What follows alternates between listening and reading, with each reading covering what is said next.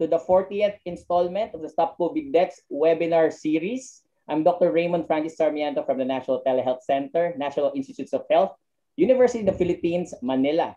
Last week, our topic was on who should not be vaccinated. So we got a tremendous amount of response from those who attended and suggested that we have a dedicated webinar for our allergologists. So please stay tuned for more information on those upcoming webinars. We continue on uh, for today's webinar on the topic of COVID-19 vaccines, uh, but specifically uh, focusing on the identification of healthcare workers as a priority group and how will healthcare workers be vaccinated against COVID-19.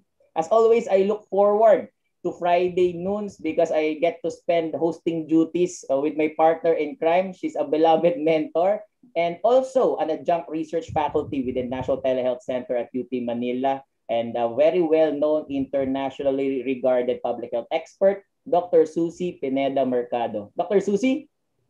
Hi, good afternoon, Raymond. Uh, maayong udto, maayong buntag, naimbag adlaw, buenos dias a todo. Hello, everyone, and welcome.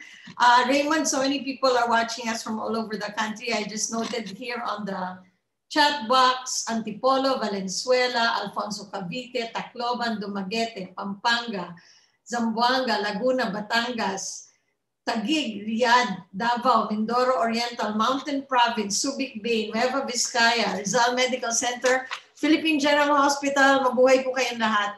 Welcome and thank you for joining us today. We've got a very exciting webinar today. Pag-usapan po natin ang pagbabakunan nyo, right? So this is about vaccination of health workers. And for those of you who are watching on YouTube or Facebook or watching on the playback, we like to welcome you. And um, we're looking forward to an afternoon of learning kasi lahat po tayo kailangan natututo palagi. Mabilis ang pagbabago ng mga pangyayari. So kailangan po natututo tayo.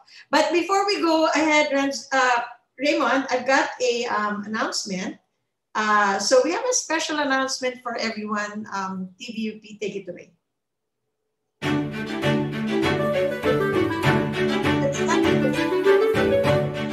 Selfless acts of courage and kindness show us who we are as Filipinos.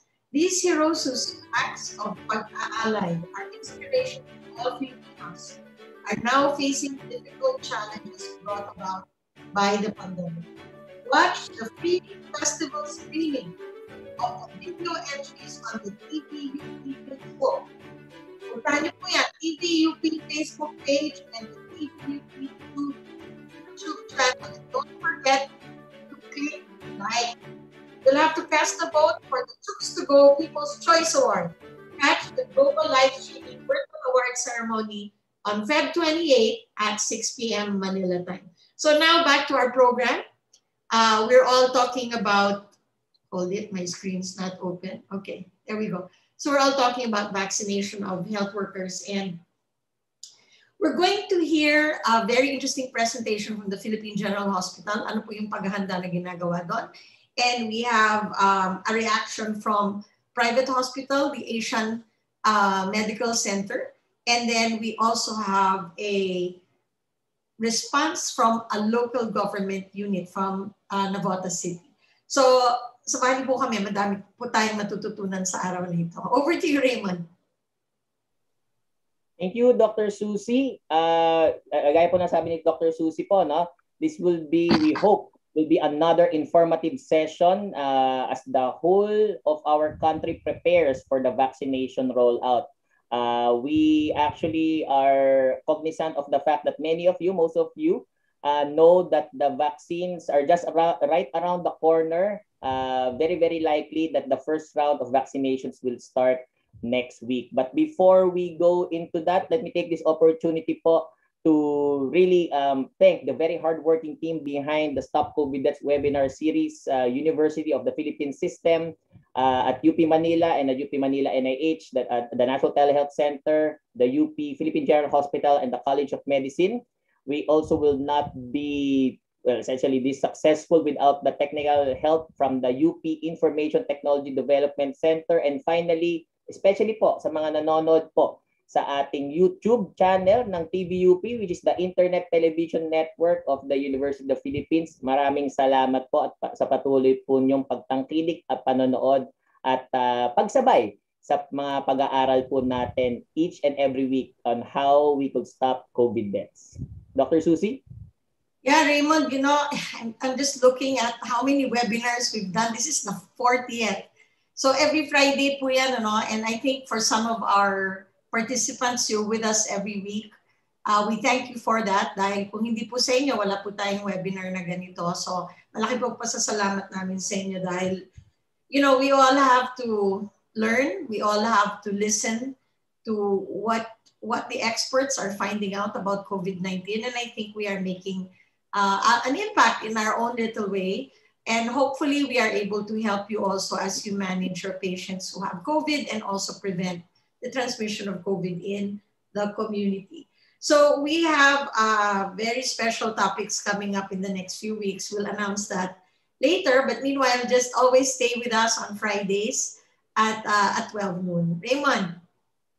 Thank you, Dr. Susie. So TVUP, may we have our shot uh, with regards to the certificate. So maraming salamat po, TVUP. Sa mga patuloy po nagtatanong, patuloy din pong nagde-direct message sa ating messenger, sa ating mga email.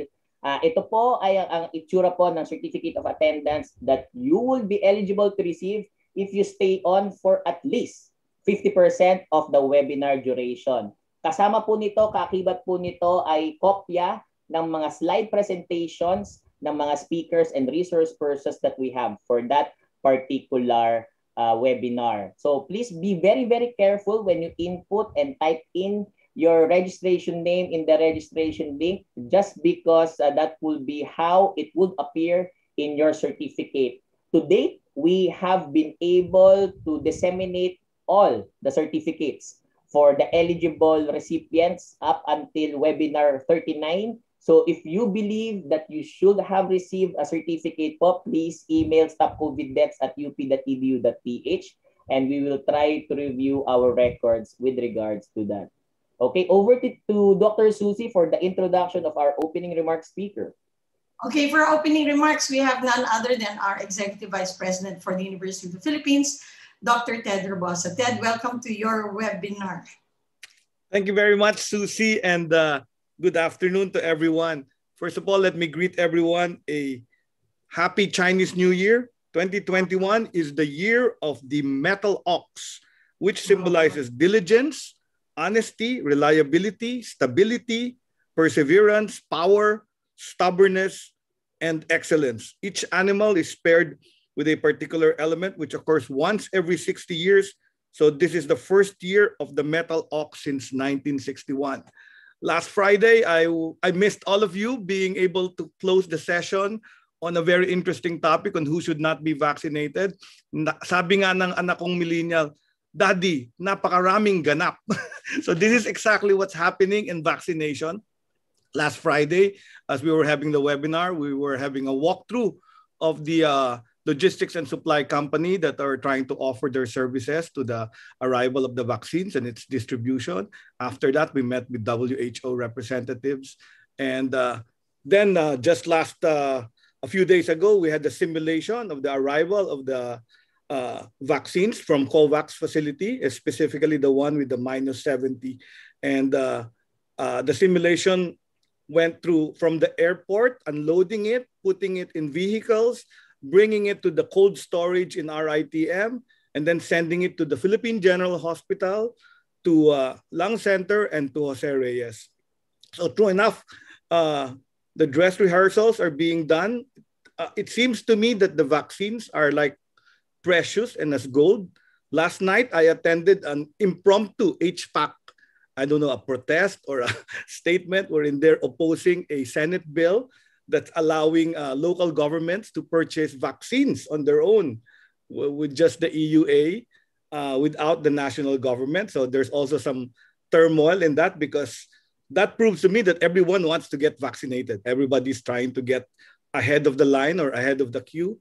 It's very important that we respect the process and allow the vaccination to happen. So I thank the whole uh, Stop COVID Deaths team for being able to bring this information and this reliable valuable information and I congratulate Gap for sharing what he he is, has been doing. I mean, I went to PGH for my pre-registration. I even got my serologic test for uh, possible antibodies as I had tested positive last uh, July. And uh, I'm also very happy that they have decided to put in our spokesperson. I think he's here. Uh, Dr. Jonas Del Rosario has been working so hard for the past year I think he will the first one. He will be the first one to get a jab, uh, and that will be the uh, most historical uh, event that he's going to be experiencing if the vaccines arrive. So there's been some delay, as you heard in the announcement, but I will not delay anymore the speaker. I think you will learn a lot from Dr. Legaspi and how he's been planning to roll it out. PGH will the first. If we fumble, please do not laugh just make it better and improve it in your hospitals and uh, learn from this session. Maraming salamat. Good afternoon. Happy New Year to everyone. Thank you very much. It's Dr. Ted Herbosa, Executive Vice President of the University of the Philippines. And we're always happy to have Ted because he's in the know. He's uh, advisor to the National Task Force and he's always able to give us updates and guidance on how this whole thing is going. So it's I think reassuring to hear that there are uh, simulation drills, that there are rehearsals. And I think the spirit of all of this is that we are learning together. Nobody knows how to do it perfectly. But you know, if we work together, we're, we're going to get this done. So thank you very much, uh, Dr. Ted Herbosa. All right, before we go to um, our uh, opinion poll, Raymond, uh, I just want to announce to our audience that we have, huwag muna tayo mag-opinion poll. Create ko opinion poll. Eh. I want to announce to audience we're going to try something new today. Okay, so get ready. Um, all the time, most of the time, or all these 40 weeks, if you have a question, you put it in the Q&A box and we never get to see you. So today, we're going to select maybe one or two of you whose videos whose cameras we will open. And if your question is upvoted, meaning you put your questions in the Q&A box, okay? If your question is upvoted, many people like your question, we're going to inform you ahead of time. And we're going to open your video so that we can see you. This is your cameo appearance in the webinar. But it's really because we want you to participate and we want to find ways to make this more interactive. So kung maganda yung tanong nyo, uh, hindi lang kayo magtatanong sa Q&A, magtatanong kayo on the camera. Okay? So uh, we'll try it today and let's see how that goes. Okay, Raymond, over to you. Thank you, Dr. Susie. So please stand by. Uh, alam ko po ay medyo nagulat po kayo doon, no? pero we really would like to engage our audience even further. We have nearly 4,200 registrants for this webinar. And right now, there are 1,800, nearly 1,900 po na attendees in this webinar. As always, we want to emphasize na ang maximum capacity po nito ay 3,000 participants. So please, kung yung pong uh, mga kakilala nyo who signed up, uh, please let them know that we have started and please join in the Zoom webinar. Okay, ito po ay ating uh, nakaugulaan na starting for year 2021. Really, it's an audience survey and opinion poll. Uh, we just wanted to get uh, a sense of the demographics of our audience. The first question reads, what place are you viewing this webinar from? So mapapansin niyo po may mga pagkakagrupo po ng mga regions at saka mga lugar. So hopefully uh, a lot of our attendees uh, will be able to key in their answers. Uh, we are seeing that majority of those uh, attending are from the National Capital Region. There is, and the least would be a little, a little bit around uh, 1% po pala, Western and Central Mindanao. Okay, so tuloy, patuloy nyo lang pong ikiin ang inyong mga sagot. What is your line of work?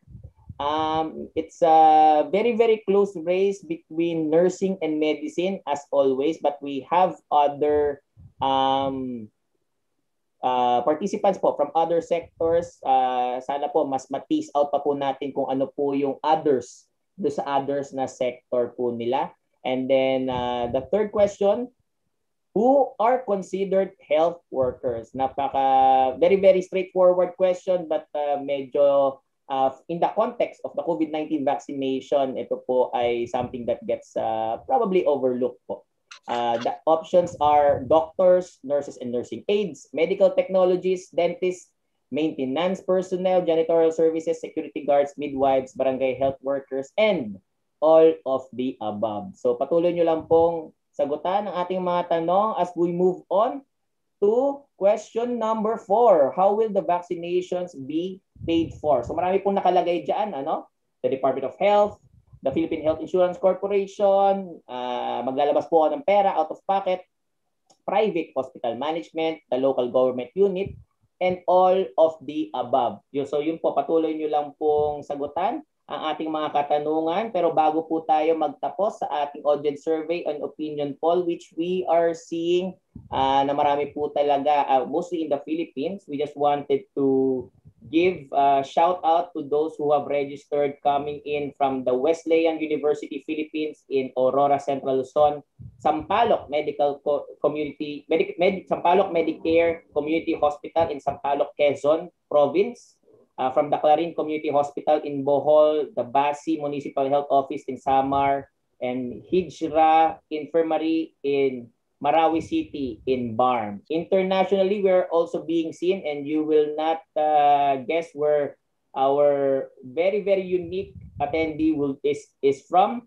He, uh, he or she is from the University of Monastir. Alam niyo po ba kung saan ang Monastir? It is from Tunisia. That's the very first time that we will be having at uh, someone from Tunisia to attend. Uh, we have one from Adam University in Bishkek, Kyrgyzstan, uh, from Jelutong, Malaysia, from Ho Chi Minh, Vietnam, from Singapore, uh, Kota Semarang, Indonesia, Doha, Qatar, Saudi Arabia, uh, the Ministry of Health in Ras Al Khaimah, United Arab Emirates, the Al Masara Hospital Ministry of Health, Oman, uh, and then in the United States, uh, Penn Medicine in Princeton University, Princeton, New Jersey, and then the Philippine Academy of Family Physicians, but coming from Winnipeg in Canada, Chelsea Park in Canada, and also Niagara Falls, ang ating uh, masugid na tagapanood from Ontario, Canada.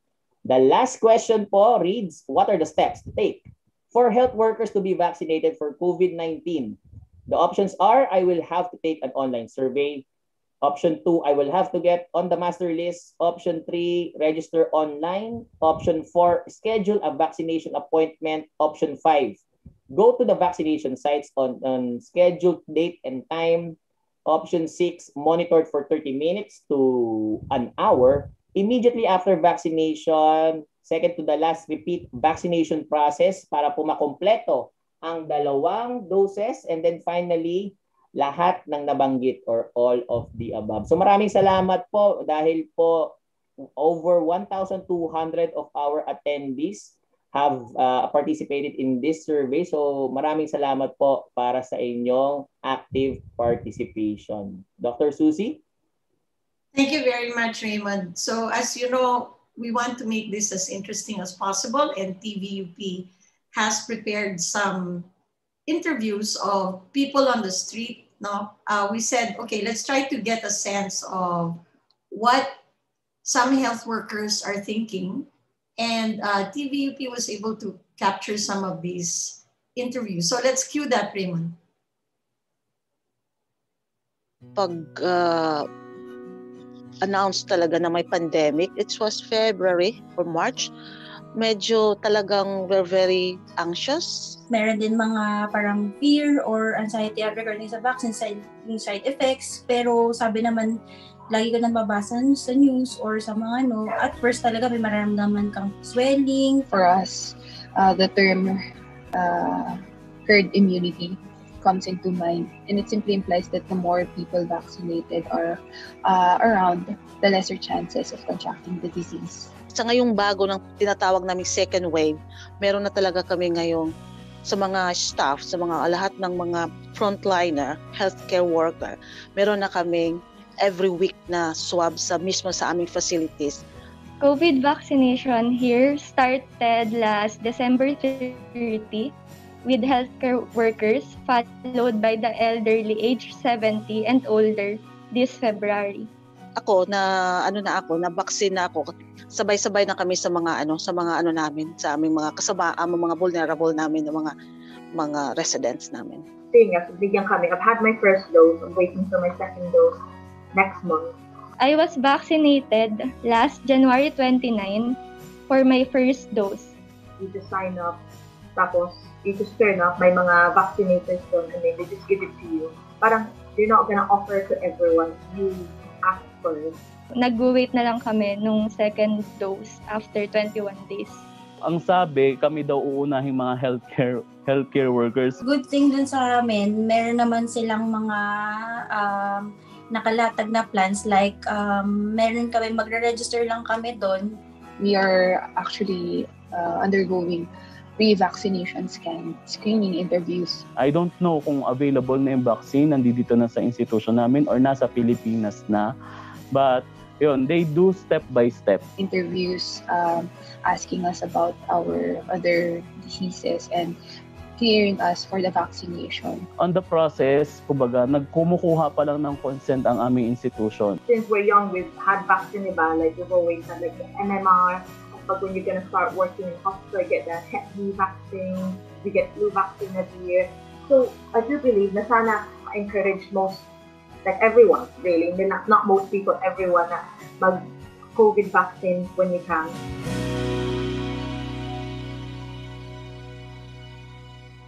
Thank you very much, TVUP. As you know, the Philippines is probably still the number one um, source of nurses in the world.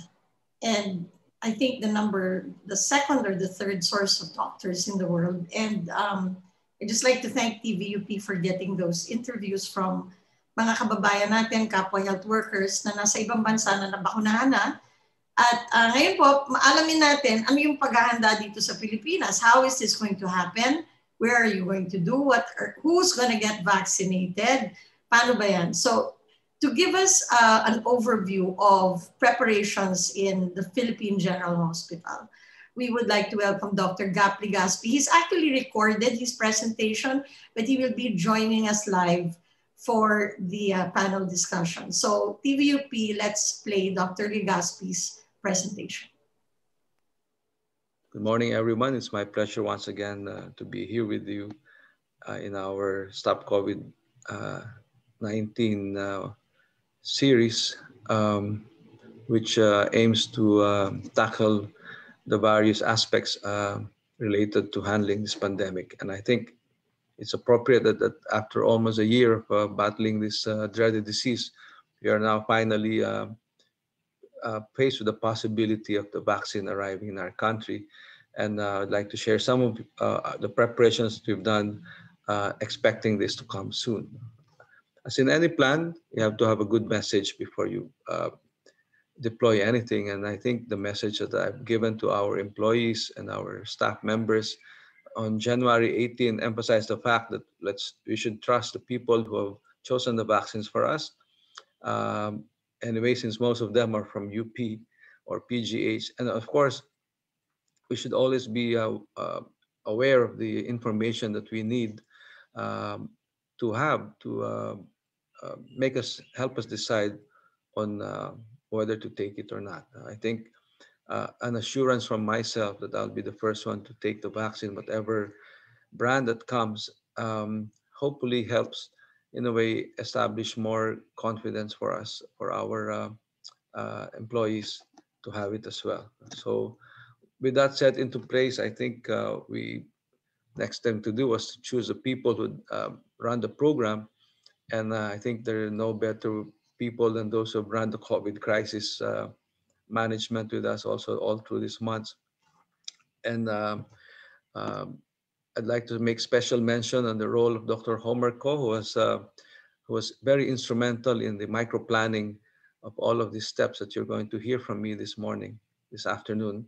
And uh, aside from the fact, of course, that he set up the PGH electronic medical record system called Radish.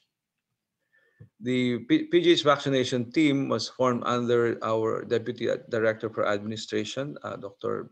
Teresa Benedicto, and um, our Deputy Director for Nursing, Ms. Cecil Peña. And it comprised of uh, microplanning coordinator under Dr. Homer Ko, uh, our profiling data management uh, in charge of the master list under our HR head, of course, our cold chain and logistics under property and pharmacy, risk communication and uh, uh, community engagement. That's, of course, our IEC uh, chair, Dr. Eric Berberabe.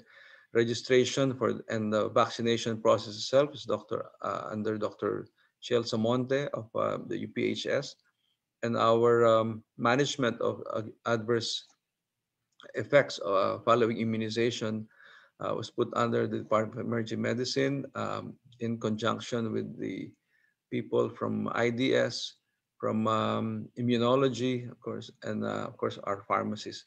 Not to forget also that we had to put a, a mechanism to take care of our waste materials. The first uh, general meeting, of course, there were meetings before this, uh, small pocket meetings, but the general meeting was held on February 8, 2021 when we we're told uh, via phone call from uh, DOH and from uh, uh, Secretary Vince Dizon that uh, the projected vaccination of uh, the PGH community is on February was on February 15. I got that call around February 6. So um, that put us in quite a panic mode. But as um, in most things, if you have the right people, as I said, things got into motion and uh, we prepared ourselves for that particular day if ever it came. So aside from having a, a, a, message, good message, having good people, I think a good plan, which is very flexible, is what uh, is what is mandatory for a, in a crisis situation. So we had the plan that we hatched at around January 18 and um, it came to fruition in uh, February 9 when we started uh, the first phase of our vaccine deployment program, program which is to um, um, pre-register uh, our uh, staff members in the PGH community. I'm sorry. So all these plans are in conjunction with the uh, online profiling and vaccination process flow from the Department of Health. And it required multiple steps that we followed to the letter so that uh, we are um, in consonance with the uh, plan for all of hospitals around the country. And we were in close coordination with their uh, officials from uh, planning to actual the simulation of uh, processes that were uh, necessary for this program. So in general, the, the, steps that were taken was to generate a master list uh, of our employees and hospital staff. And it was supposed to be uploaded to the DOHCIR, but now uh, we have got word that uh, the um, information system is being transferred to the ICT, uh, the Vaccine Information Management System uh, Immunization Registry or VIMS-IR. So, and um, in, in uh, in support of all of those, we started uh, preparing the infrastructure, manpower, and supplies needed for these activities until we get to the next steps uh, of registration and then vaccination. So, um, just to uh, uh before uh, to have a uh, document guiding us through this process, Dr. Homer co-produced a micro planning document for our COVID-19 vaccination plan, which um, contained in its 15 uh, pages the necessary information that guided us through this. Of course, a big question that came after that is who do we include? We just we just followed the DOH and WHO uh, uh, guidelines, and um, uh, of course, the uh, primary uh, objective was to protect the, those people who directly handle handle our COVID patients and the people who support them, including our DOH volunteers.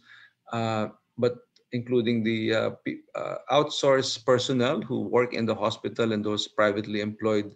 Uh, I think the basic principle that uh, I would think that I followed or we followed for this is that anyone within the confines of the four walls of PGH from Pedro Gil to Taft to Padre Faura and Robinsons, anyone who moves inside should be included uh, in the list. So Uh, also in preparation, as advised by DOH, for any excess vaccine um, that, that may uh, come up because of uh, some no-shows or maybe last-minute uh, um, cancellations. We included a, um, a second tier of vaccinees uh, that included, of course, our Professor Emeriti and um, our retired physicians uh, among others. So all in all, we estimated around a total of 6,000 uh, enrollees or registrants into the program.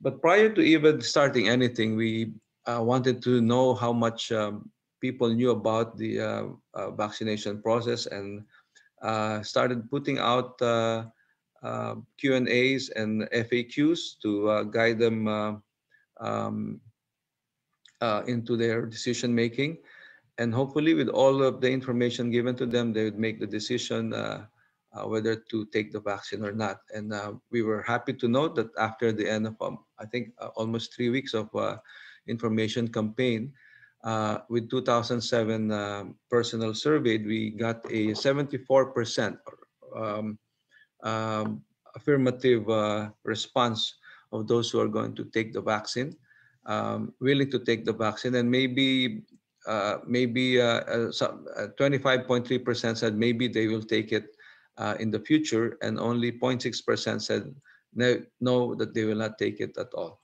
So um, after knowing more or less how much people we have uh, to deal with, and I would say if, if that was um, uh, considering the community in PGH, I would say maybe that will be around 4,000 to 4,500 uh, of the 6,000.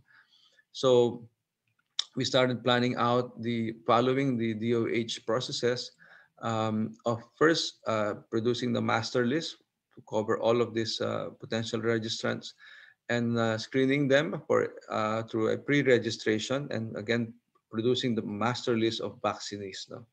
So the pro the process will lead eventually to, course, vaccinations um, of the two doses if we get the uh, vaccines that require such the pre-registration activity was uh, is important because it um, is required. Of course, it was also because it was required by the Department of Health. But I think it's important to so that we can procure the right quantity of vaccines by knowing how many exactly uh, are willing to take it. And and and since my mandate on the team is no waste, zero waste of vaccine, I think this is uh, really going to be very important. Of course, we have to verify who takes it and import, more equally important is knowing which uh, uh, risk factors um, are present and which make other um, uh, registrants inelig ineligible for the vaccine. Uh, we need to get the consent and maybe uh, organize a, a uh, vaccination card which will contain information about that. Uh, we chose the PGH atrium for those of you who have, haven't been there. It's an open space in the front part of the hospital.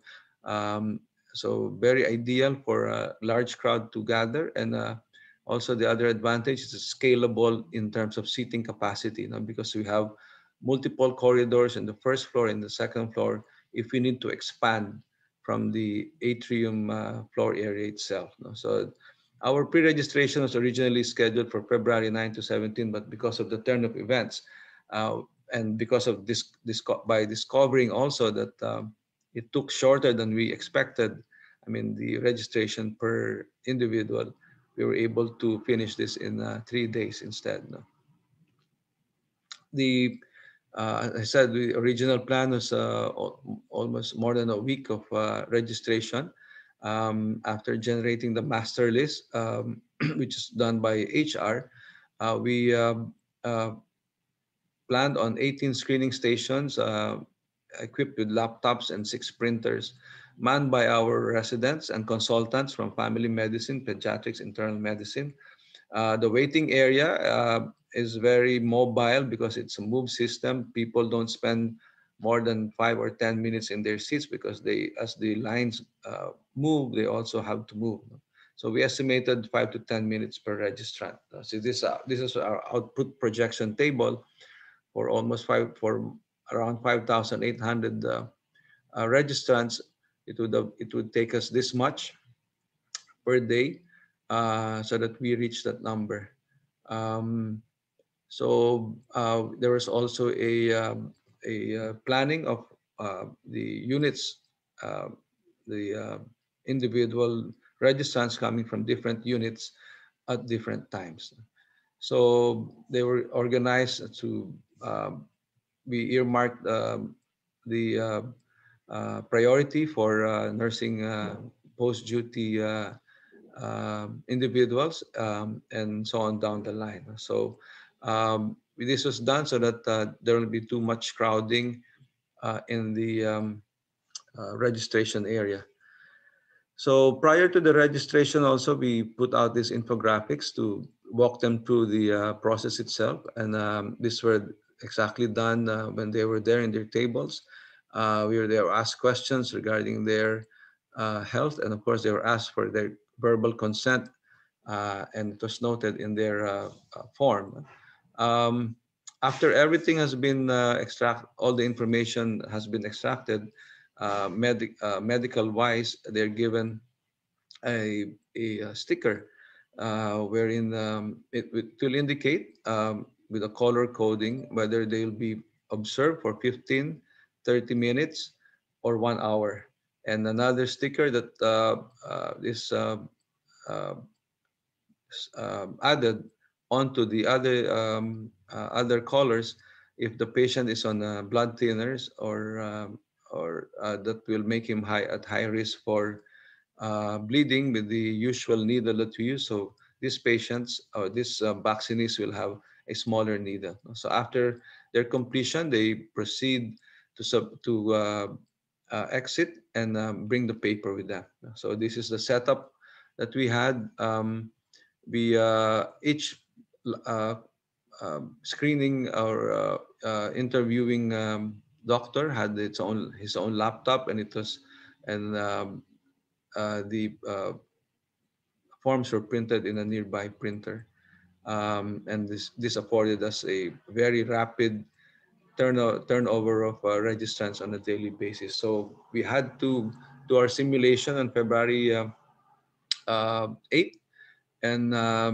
that's when we found out that we can actually go faster than we thought. And uh, we aim to end the pre-registration of 6,000 um, individuals in three days and we were able to do that so you see the the organized uh, uh, line uh, the move system for those waiting and the wrap and the quick turnover of uh, registrants in the screening tables uh, I think the the atmosphere in the atrium um, was also very vibrant. Uh, the the uh, of course the garden effect helps in that, but also the the fact that this some most of these people haven't seen each other in ten months, and now they they are here. and uh, it was like a fiesta um, during that day. So so um, uh, our staff from all units uh, were there. We had our VIPs, uh, of course, uh, Director uh, Domingo,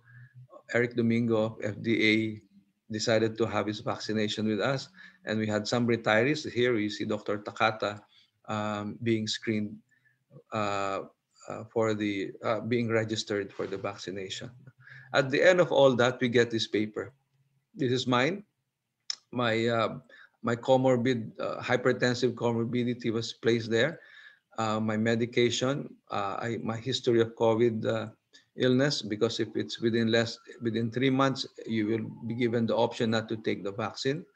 Um, and of course, my um, designation as a 15 minute in the 15 minute uh, monitoring area. The um, um, I just got this from another doctor who who was on uh, aspirin, who was on clopidogrel, and um, um, other comorbidities as well. But uh, I think this is just to emphasize the fact that an additional pink sticker was placed there so that um, uh, the vaccinee will um, will know to uh, to use a, a, smaller needle for this patient. So we, we had an alternative method of uh, enrolling or registering and it was through online and we reserved this for our very senior um, faculty or retirees and professor emeriti whom we did not require to come to uh, PGH anymore. And in effect, you get the same uh, information as you did when you walk in.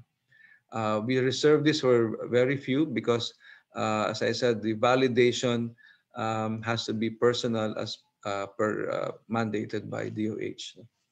And we're happy to know that at the end of three, this was um, yesterday, half a day. We haven't, I haven't gotten the information after lunchtime yesterday, but you can see here the um, high turnout of uh, of our um, employees and our staff, and of course the, the rest of the uh, uh, PGH community coming in.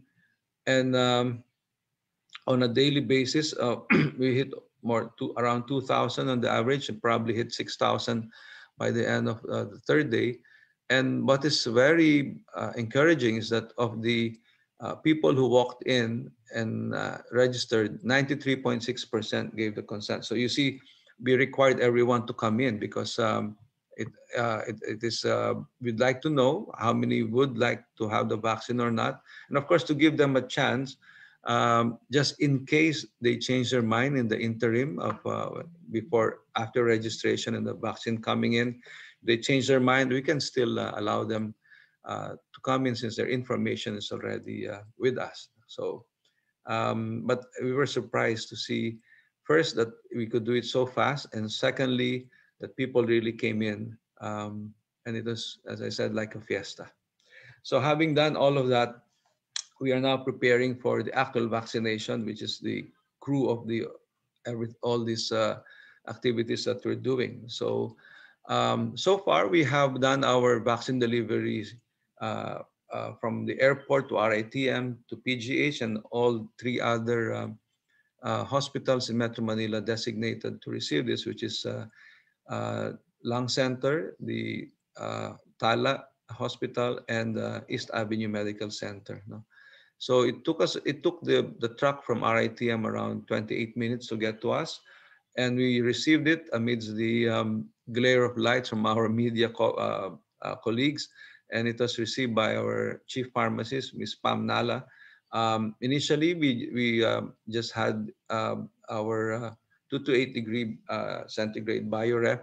Um, but uh, just yesterday, the ultra low temperature freezer arrived. So we will be able to store our vaccines as they come from RITM directly uh, in minus 8, minus 70 degree uh, temperature we are um, placing one bioref near the site of the uh, um, vaccination in the um, atrium.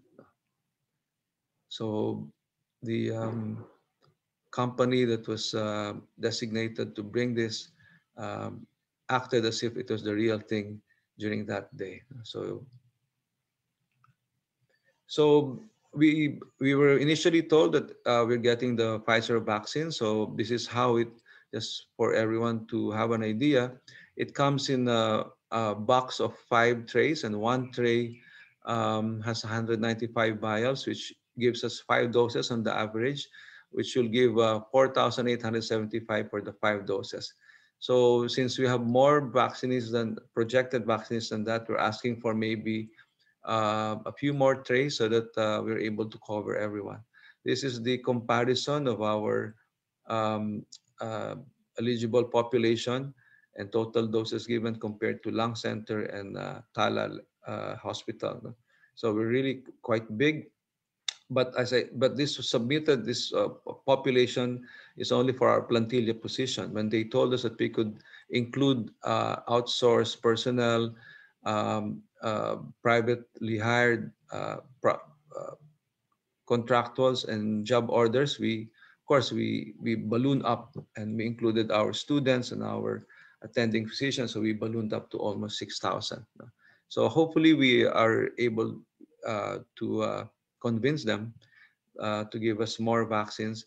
Um, and as, and we have promised as well that if you have any excess after, we share it with other hospitals who will who we will accept in PGH uh, during our vaccination period, or maybe even after if DOH require uh, requests us to do so.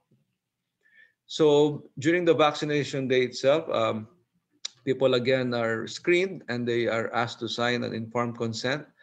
And um, the actual uh, health check is done here with blood pressure and temperature uh, determination.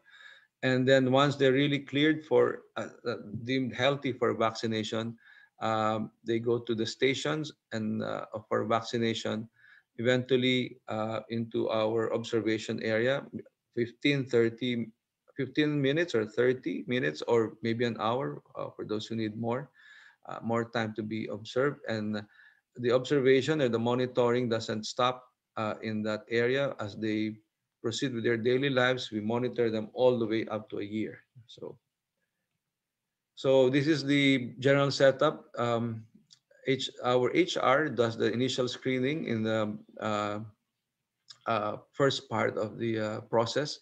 Uh, just to be sure they, they validate the identity as well, that they're complete with their uh, requirements, uh, especially the form that they have, that they were given. They now go to the pre-screening where our, um, um, again, our doctors um, are give a, take a more detailed health screening and vital signs uh, check. And then uh, they're given the signal with their consent form. They proceed to the vaccination area where we have a three groups of five each why five because as i said one tray uh, one vial um, can give five doses so each vial will be distributed to one of uh, these three uh, rows of uh, nurses doing the vaccinators um, but uh, the vaccines are prepared by our uh, uh, pharmacists in a separate table so they don't get bothered with mixing the diluent and the and the vaccine. So uh, there's a third person that does the um, documentation, uh, necessary documentation. Again, uh, taking away that role from our vaccinators. So as the um, as the vaccinees finish their um, inoculation, they are sent to the monitoring area, whether 15 minutes or 30 or one hour.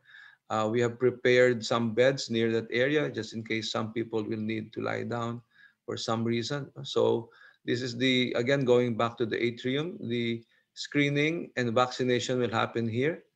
And then they proceed to this area, which is even more shaded, where they wait uh, to be monitored, observed for uh, the number uh, number of minutes assigned to them. There's a small small door that leads to our um, resuscitation area manned by our DEMS and uh, anesthesia. If there's an overflow of patients, we uh, two choke points that we think will happen in the screening area uh, and in the monitoring area. So we are prepared to escalate the space just in case we can proceed to the second floor here and we can expand more uh, to another uh, site, another more to uh, uh, other areas near these tables for the screening. So we have identified those choke points. We think the fastest part actually is the vaccination process. The vaccine is quite sensitive, so the preparation is uh, is very tedious. Um, the transport is tedious if you're using Pfizer. It is uh, quite um, motion and uh, temperature sensitive, so it, it, takes a lot of care uh, to uh, handle it. And also, of course, we have the uh, we should we are not able to access the syringes that have low dead space to optimize the doses per vial, which some people say um, go as high as six and maybe even seven in, if you compute um, the total number of uh, volume in the in a process vial, which is around 2.25 cc. No?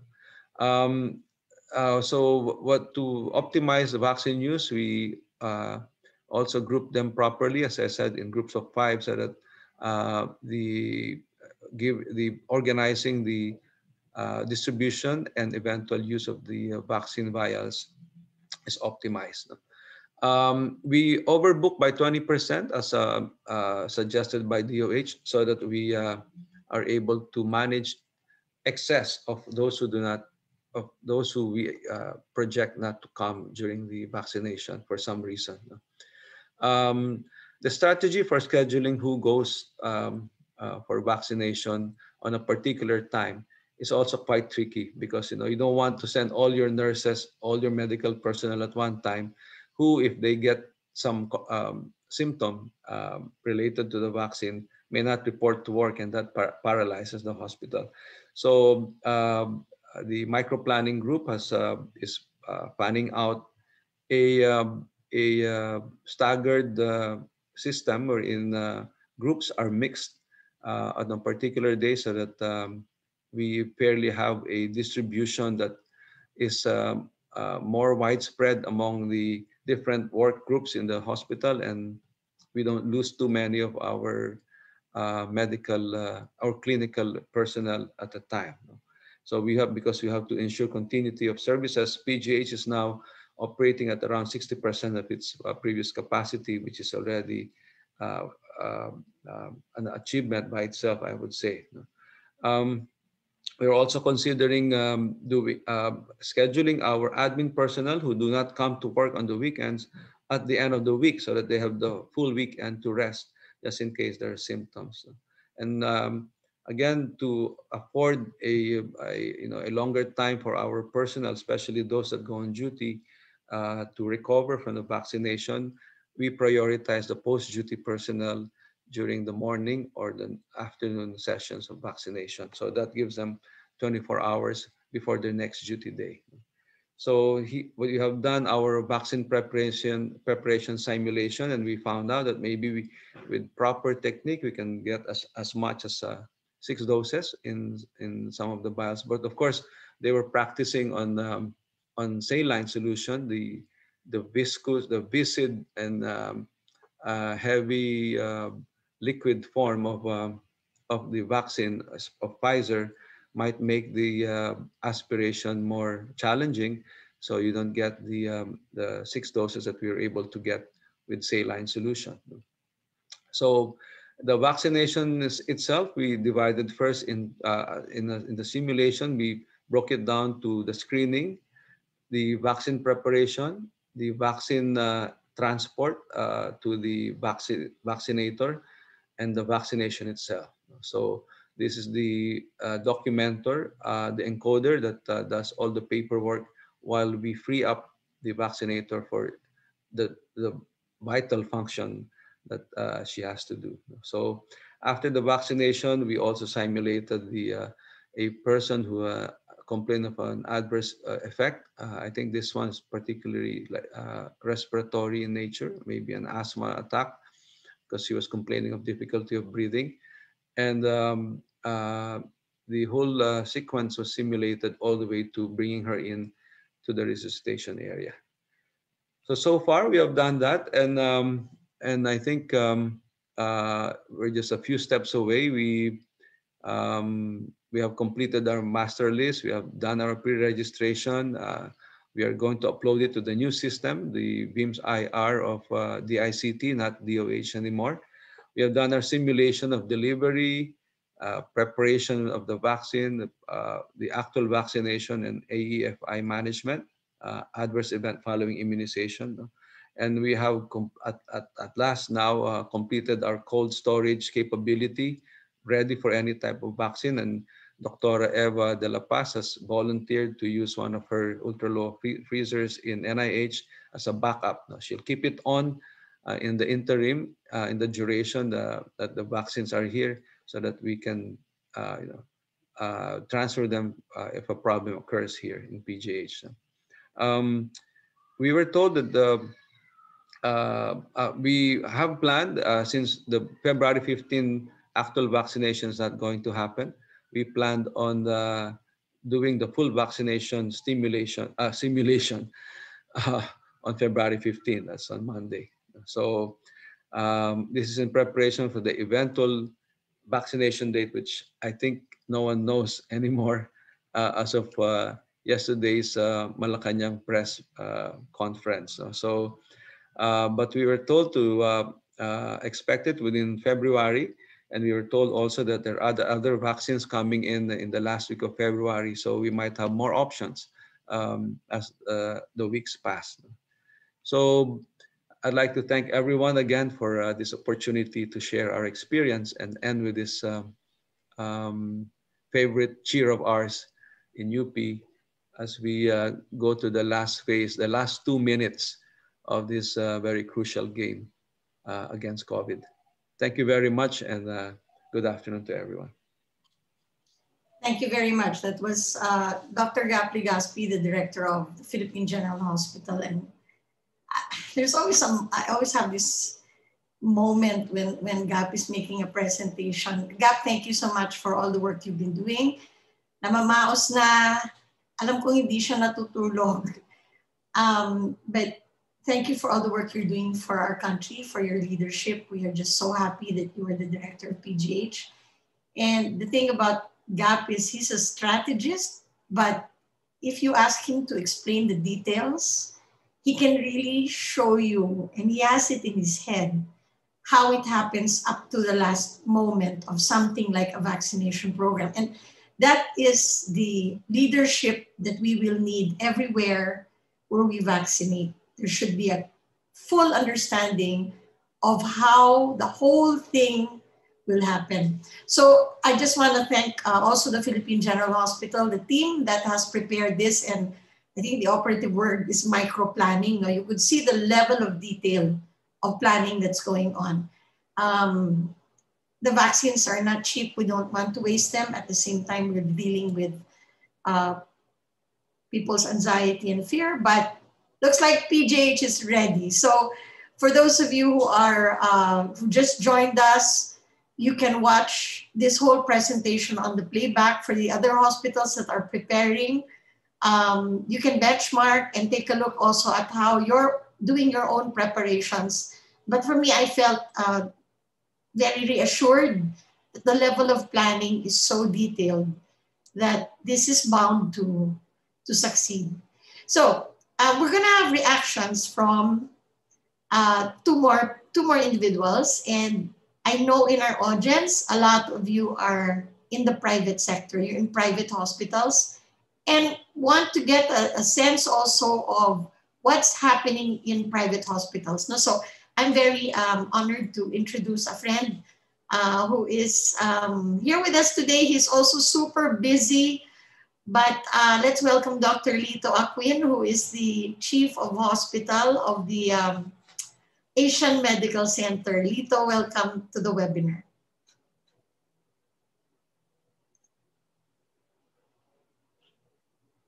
Uy, nawawala ba si Lito, Raymond? Dr. Dr. Aquin, you're on mute, sir. Okay. Can you hear me? Yes, I can. We can hear you, and we just want to get a short reaction from you. Yes, a uh, short as. Uh, uh, okay, go ahead. Go ahead, Lito. Go ahead. Um, so thanks for having me, and um, I'd like to echo um, uh, what uh, Dr. Susie said, and that's something that I think should really be um, emphasized in this exercise. Um, and that is you need you cannot be too detailed every detail counts. And uh, you're only as good as the level of detail in planning and in execution that uh, you can uh, master in this exercise.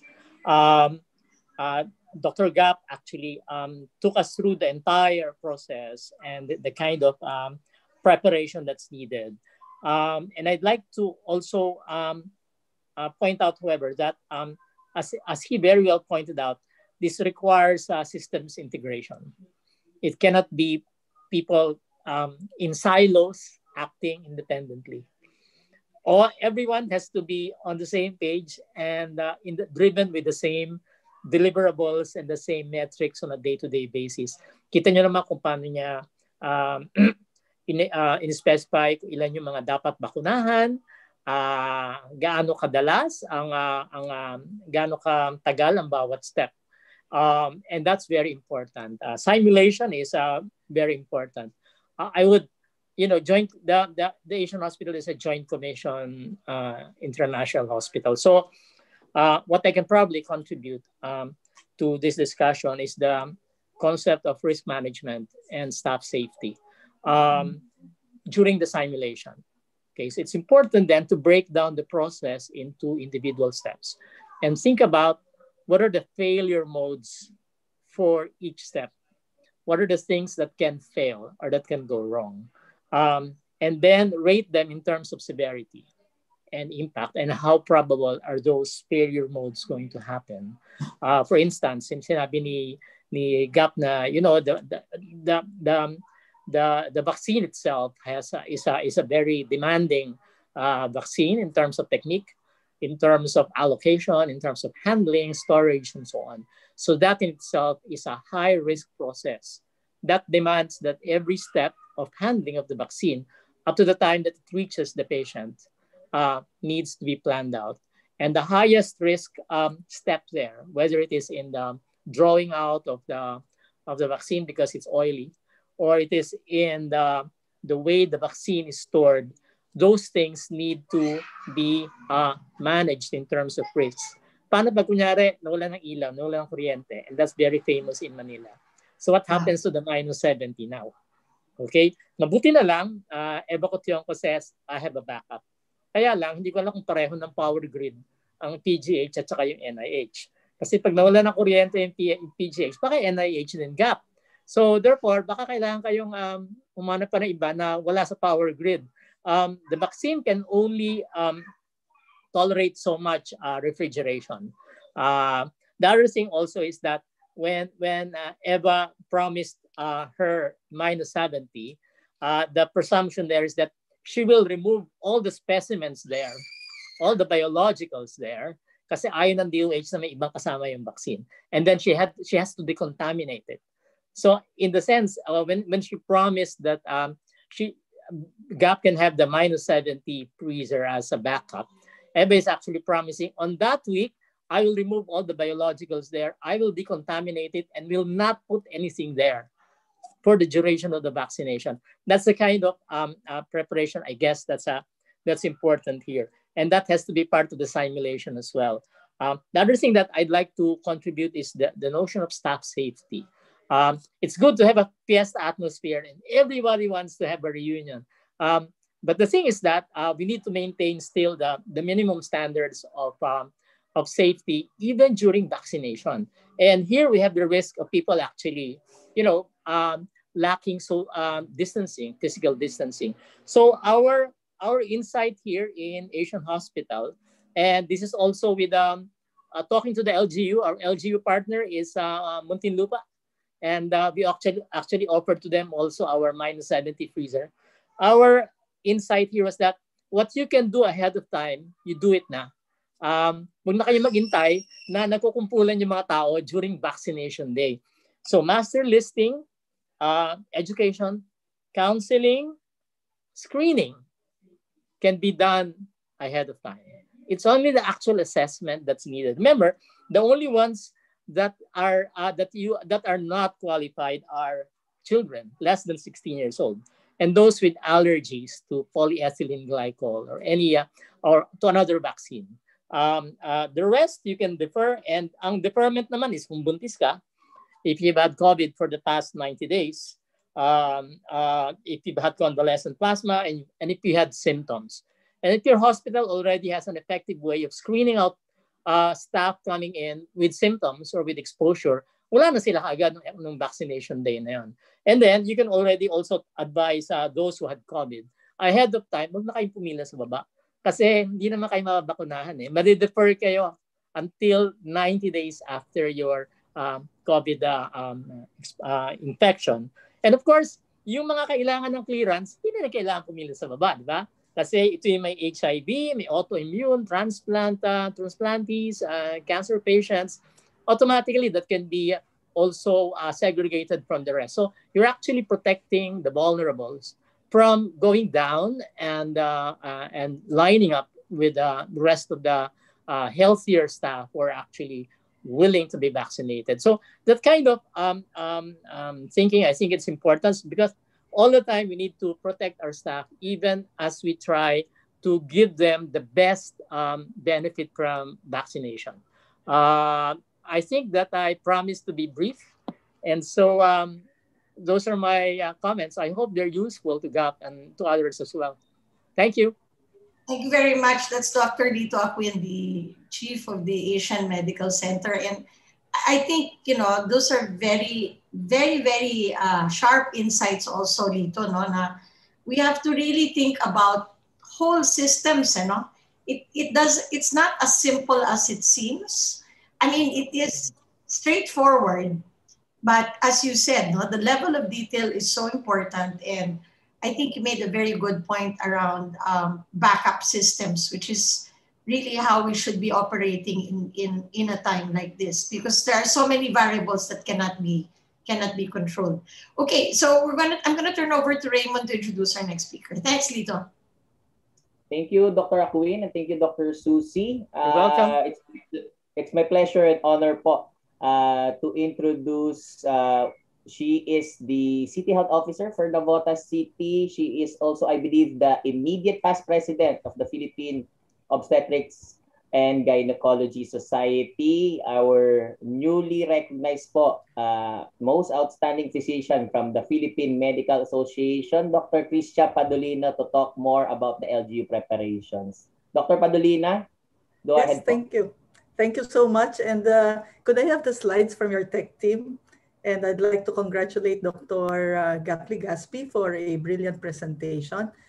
And uh, let me showcase the topic, which is how will health workers be vaccinated against COVID-19? Uniquely, as I am also the medical director of the Navotas City Hospital and City Health Officer, our approach is more on a citywide basis. But I think Dr. Gap Legaspi will have his hands full in as much as the other LGUs would be networking with him if and when needed for this particular project. This particular project, you cannot be over prepared. You need to over prepare for this one as the vaccine is treated as if it is gold. So could I have the next slide to showcase the simulation that has been done in the city of Navotas? And that simulation is being done so that we are able to have vaccine confidence. Thank you. So please.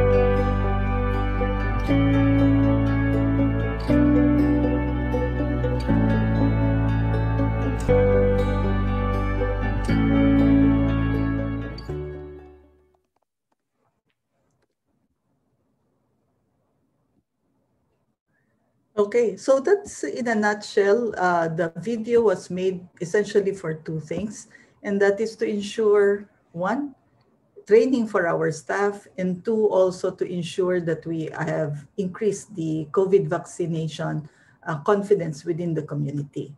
So, as clear messaging, um, we also invoke the utilization of our staff or our community members who went abroad and were given vaccination. So I think that's the next slide. Okay. Magandang umaga po. Uh, ako po si Romel Reyes. Uh, laking nabotas po ako. Ngayon po dito na ako nakatira sa Seattle, Washington. Uh, frontline worker po ako. Kaya um, meron na po akong bakuna for COVID. Pangalawang dose ko na po uh, two weeks ago um, gusto ko po kayong i-encourage na magpabakuna dahil safe po. Um, medyo may sakit ng katawan the first 24 to 36 hours. Tsaka sakit ng ulo, yun lang ang naramdaman kong side effect. Uh, at safe po uh, sa dami po ng, ng benefits, eh, kailangan po natin para ma, ma talo na po natin itong virus na to.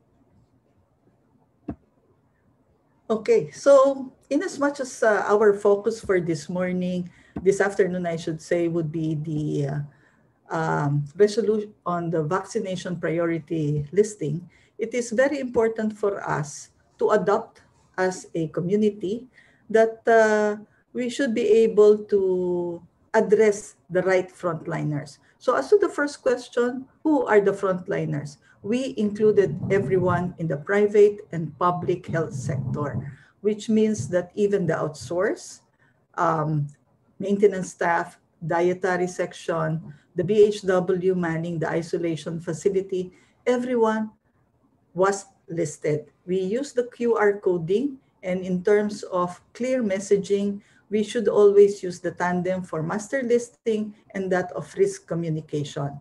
Our vaccine confidence has increased from the month of December up until now. We made a community-wide survey wherein we proposed to the community whether they want uh, yes to the vaccine, no to the vaccine, yes, but with a particular brand. Because this was our mantra in terms of choosing which vaccine to get for our community. So allow me the last three messages, three minutes for messaging. Number one, open communication is very important to ensure that we establish vaccine confidence. We went through the motion of getting and, or, and organizing our team so that right now we have a micro planning document. But what I think is very important here is during the actual vaccination itself, we should now be very prepared. So we have two ultra low freezers. We have the whole range so that at any time that the OH says we have vaccines, we're ready to receive them. We ensured that we have a generator for that. We also called up Meralco to ensure a steady supply of uh, electricity. And we also ensured that uh, we get volunteers so that uh, we invoke also patient safety so that the vaccinating team only attends to the vaccination itself. We, these are the school teachers for counselors, etc. And I think what is very important here, aside from risk management, from ensuring that we have the necessary logistics, we have the team ready, we have the enthusiastic medical healthcare workers that are paving the way for all of this, is to get champions from the healthcare workers. Because if the community sees that it is the healthcare workers who are leading the way, because we were the ones who were um, very much affected during the onset of uh, COVID, then we could invite everybody to come in. And we do not uh, uh, we over, I would like to overemphasize the role of leadership. If the leaders would be able to clearly show the direction, then we the half half of the battle is already won. In as much as the whole population, the whole staff would be one collectively in the direction of having the vaccine. And may I also thank the experts, the academic institutions who are giving their time and effort so that they are able to convince the community that really this is the way to go. Ika nga, ang tagal nating hinintay ang bakuna. Ito yung laban ng bayan. So, thank you po. Thank you very much, Dr. Uh, Christia Padolina Navotas. And um, again, another having another moment when you watch this video and you see the level of preparation happening at a local government, um, I think uh, it's it's heartwarming, and um, I do wish you all the success in your vaccination program.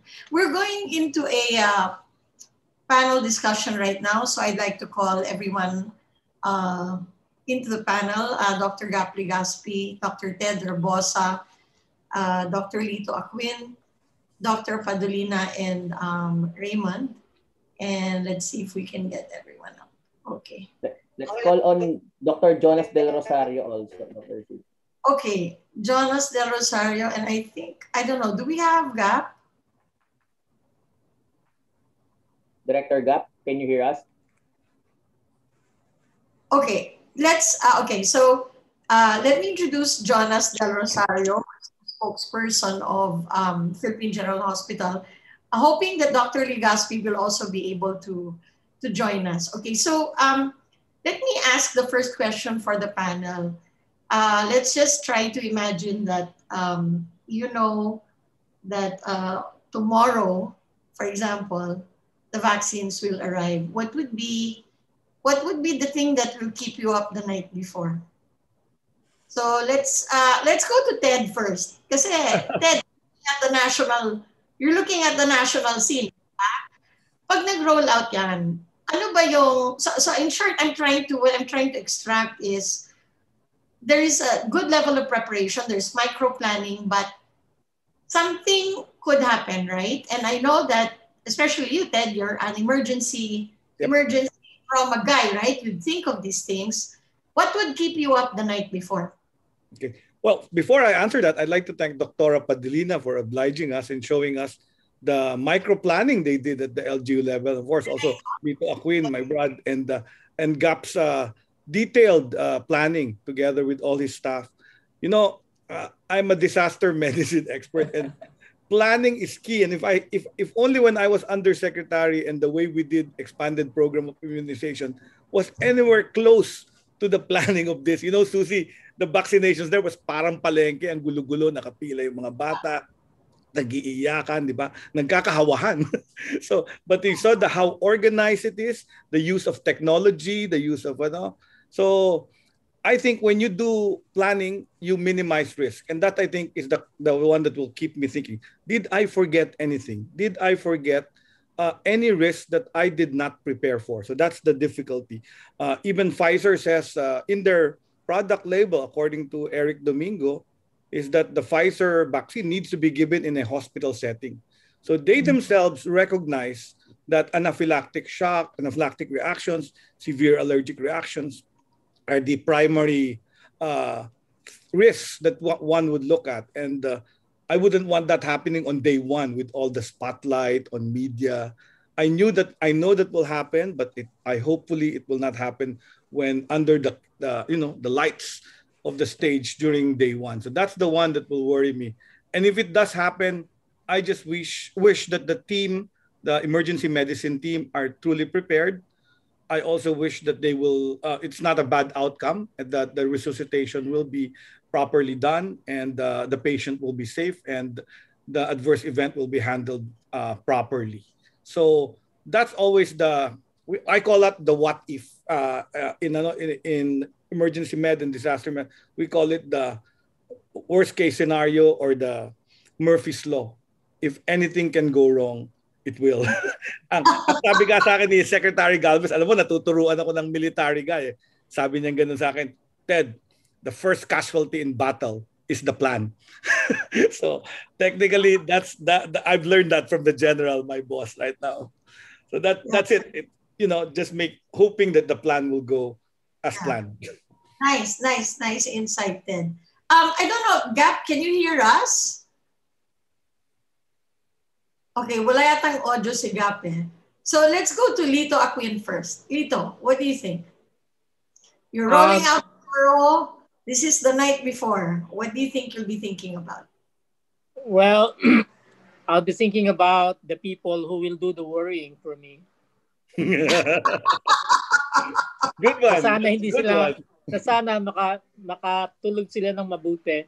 Kasi sa totoo naman, pag meron kang mabubuting tao, magmamanage ng entire process, um, you can sleep well. Because um, it's actually when you only, only when you fail to plan are you planning to fail.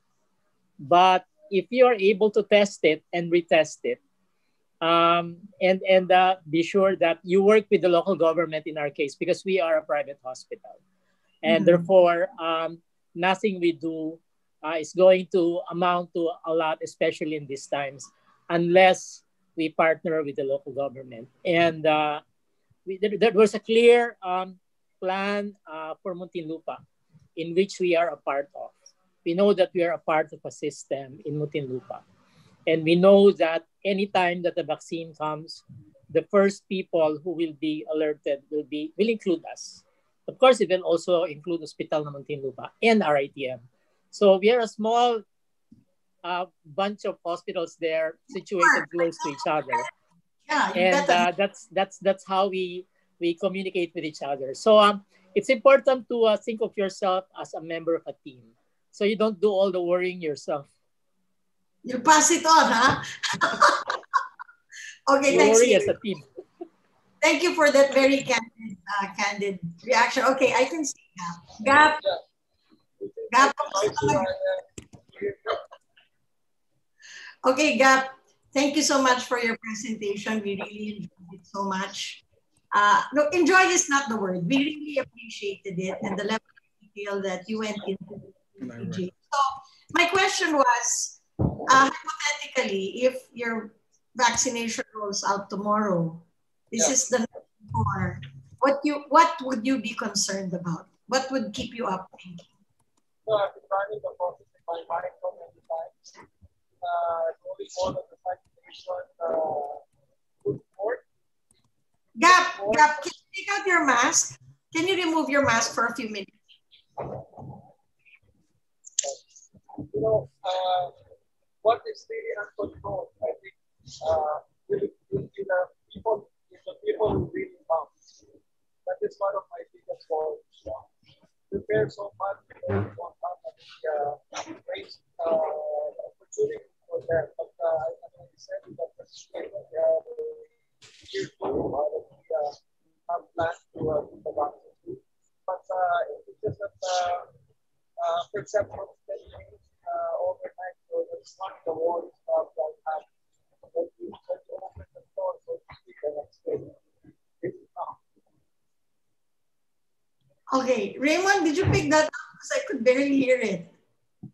No, uh, just some of it, not all of it, Dr. Susie. I think he, said he's just uh, emphasizing in terms of the preparations uh, and really just uh, it's uh, it's essentially very very similar to how Dr. Akuin phrased it uh, in that uh, it's really a total team effort. There were some bits and pieces that I was unable to uh, figure out. Maybe Dr. Jonas can uh, fill in the gaps. Dr. Jonas, okay. what would keep you up at night if it were you in Dr. Gap's shoes? Try to second guess your boss. Dr. Jonas, you're on mute. Siya yung unang babakunahan eh. um, Kaya kinakabahan dyan the night before. Hold. Wait, wait, wait. I want to introduce Jonas. Jonas Del Rosario is the spokesperson of the Philippine General Hospital. And is that true, Ted, that he's going to be the first one to be vaccinated? Jonas Jonas lost his two parents. He was taking care of his two parents during the height of the COVID pandemic. He lost his mother, I think first, and then his uh, father, father, or vice versa. And he also got COVID. He was in the ICU. I think I think he underwent all the, the bad procedures. All of us were scared for him. So this is a new hope that he will be the story that uh, you know, like the country, you know, clum, cr- uh, crumbling in its knees in economics. We hope that Jonas will portray that story. That uh, yes, we have the vaccine and it's going to protect the people. Jonas. Jonas, Jonas go ahead. What do Uh, you okay, think? fir- first of all, uh, second second guessing my boss Gap. I'm sure he probably will not sleep. Uh, he'll probably uh, be in PGH uh, first thing in the morning, baka maaga pa, no? But uh, we'll go through again with the plans and uh, making sure that uh, uh, just like what uh, Dr. Acuin said, uh, areas that uh, failure might happen will be rechecked and over and over again. The, the team will be there. The his his generals will be there the eve of the event, and then I think the next the next big headache is making sure we have good crowd control. The um, as how we practice it. Uh, it's gonna be a little bit wild and uh, challenging because, as you know, PGH was uh, was advertised to be the first institution, and and mind you, I have been getting so many requests from the media. They want to cover everything uh, from the smallest of detail, and we have to. Uh, unfortunately, we have to control them and make sure that we only have. Uh, we still have to practice physical distancing, and then I think the next uh, issue is uh, making sure that the vaccine is handled very well. Uh, the actual uh, unpacking, uh, transferring of the vaccine until to the place that we're going to to inoculate the vaccinees. And then the next step, really, the other concern will be the monitoring for any adverse event because uh, everybody will be watching for this. In fact, this is one of the main reasons why a lot of people are hesitant to get the vaccine. People say that uh, the clinical trial is not yet over. The, the data is only um, uh, very limited short-term outcome. And so uh, what we will be experiencing as the initial uh, vaccinees or recipients of this vaccine will mean a lot to, to the rest of the, uh, to the community. Uh, on a personal note, um, yes, I was, first of all, I did not volunteer to get the, uh, the vaccine, to be the first one. Um, actually, I was having uh, uh, second thoughts in a way, not because I don't want to get the vaccine. I want to, to get it. Uh, I asked the experts, I read the literature that uh, there's no guarantee for someone who had COVID that that person will be permanently immunized. And so uh, the data is still out as how long that one person can can have this immunity. In fact, I was asking my director, Gap, I said, Gap, baka naman dapat sa iba muna mauna at uh, baka isipin nila ba't mo ibibigay sa akin dahil uh, in some ways I have some form of immunity already. I have antibodies. I uh, donated my plasma. And so I don't really mind to be uh, put uh, towards the end or, you know, uh, if I could, I can offer my dose to somebody else who is not immunized. Um, my GAP sort of like told me in some ways that uh, I think it will be the reason maybe why, and he probably has to say something about it. Uh, one of the reasons why they they asked me to be one of the first is uh, to um, probably put some credibility and uh, give some confidence to others. And the fact that even if you are, uh, if you had COVID in the past, you're still not fully protected, at least from what we know. Yeah, thank you very much, Jonas. I think at some point we'll want you to tell your story. I think uh, it's not been difficult. It's not. It's not been easy for you. It's been difficult, and uh, we're just grateful you're alive. You're back. You're with us, and um, I hope you get that first vaccine. That's great. Okay, uh, Dr. Padolina, um, if you're rolling out tomorrow, what do you think you'll be thinking about the night before? I sincerely think that we could only plan and anticipate problems so much. But the night before, it's time to be with your team, assure them that uh, we should be anticipating and having adjustments as needed. I think that should be crucial, that they will feel your presence and that uh, you are able to assemble the whole team so that the rollout would be better. If there would be problems, problems will come in. But as if you are prepared to answer them, then that's the and respond to them properly. I think that's best. Okay, thank you very much. I think at this point we're going to uh, show our panelists the results of our uh, opinion poll and also the profiling of our audience. So, uh, Raymond, do you want to walk through this just so okay. just so our speakers know who's in the audience? Go ahead. That's true. That's true. Thank you, Dr. Susie. Uh, before we continue on with our panel discussion, um, we'd just like to acknowledge those who have been able to answer our our poll questions. Just an audience survey. Nearly half, 48% po, uh, coming from Metro Manila. Next up is from Northern and Southern Luzon. And the third one from Central Luzon. The least po that we are seeing are those who are joining us from Western and Central Mindanao. Uh, there are also from southern Mindanao, northern eastern Mindanao, and outside of the Philippines. Probably we need to uh, be more creative in terms of uh, promoting in those areas po.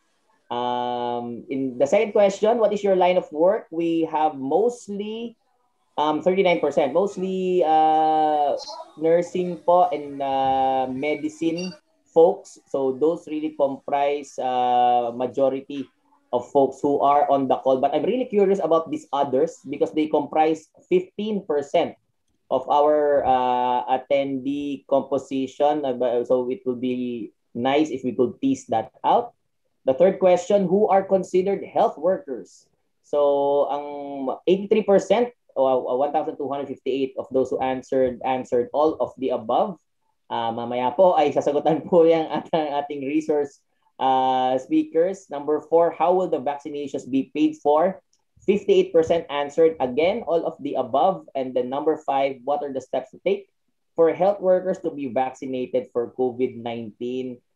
84% answered also all of the above. So let's continue on po with our panel discussion. Um, did you have any questions, Dr. Susie, or do you want to do our new um, setup uh, wherein we ask people questions? I have one more question before before we proceed because I think that question about who's paying for the vaccines is a very important one. So let's uh, let's ask uh, let's go reverse. Let's ask uh, Dr. Christia. Yes. How, who's paying for the vaccines for Navotas? The city of Navotas entered uh, on the tripartite agreement with the national government and the uh, local government, and this is the way to go in terms of the emergency utilization authority. So we ensured that we use that route so that we will be able to provide the right number of vaccines to our um, patients. And um, with regards to the other agencies, the national government, based on the mayor, based on the discussion of the mayor with IATF, they already indicated that they cannot fully sub fully support this one. So it has to be subsidized also by the LGU. So there is a co-payment coming from the LGU on this one.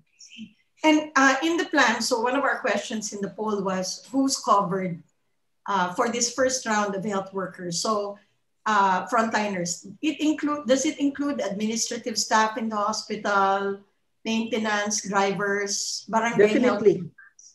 Everyone, even on the public sector, I mean, it, we were ahead of it in terms of having a already a computerized form for all our healthcare workers.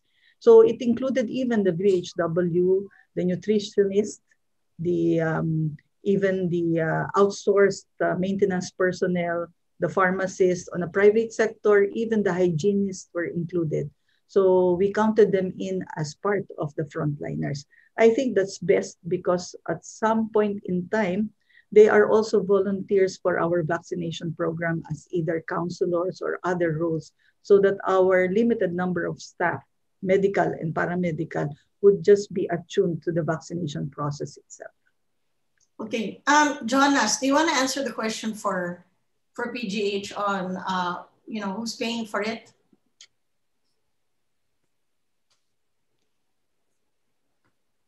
Well, PGH is getting the uh, you know there there uh, there are 100 doses from COVAX. I think that's from the WHO, and uh, so we're getting it for free. So I don't know how. Uh, I'm not so uh, knowledgeable on how that will be on how it was arranged uh, with WHO. It was probably with the government.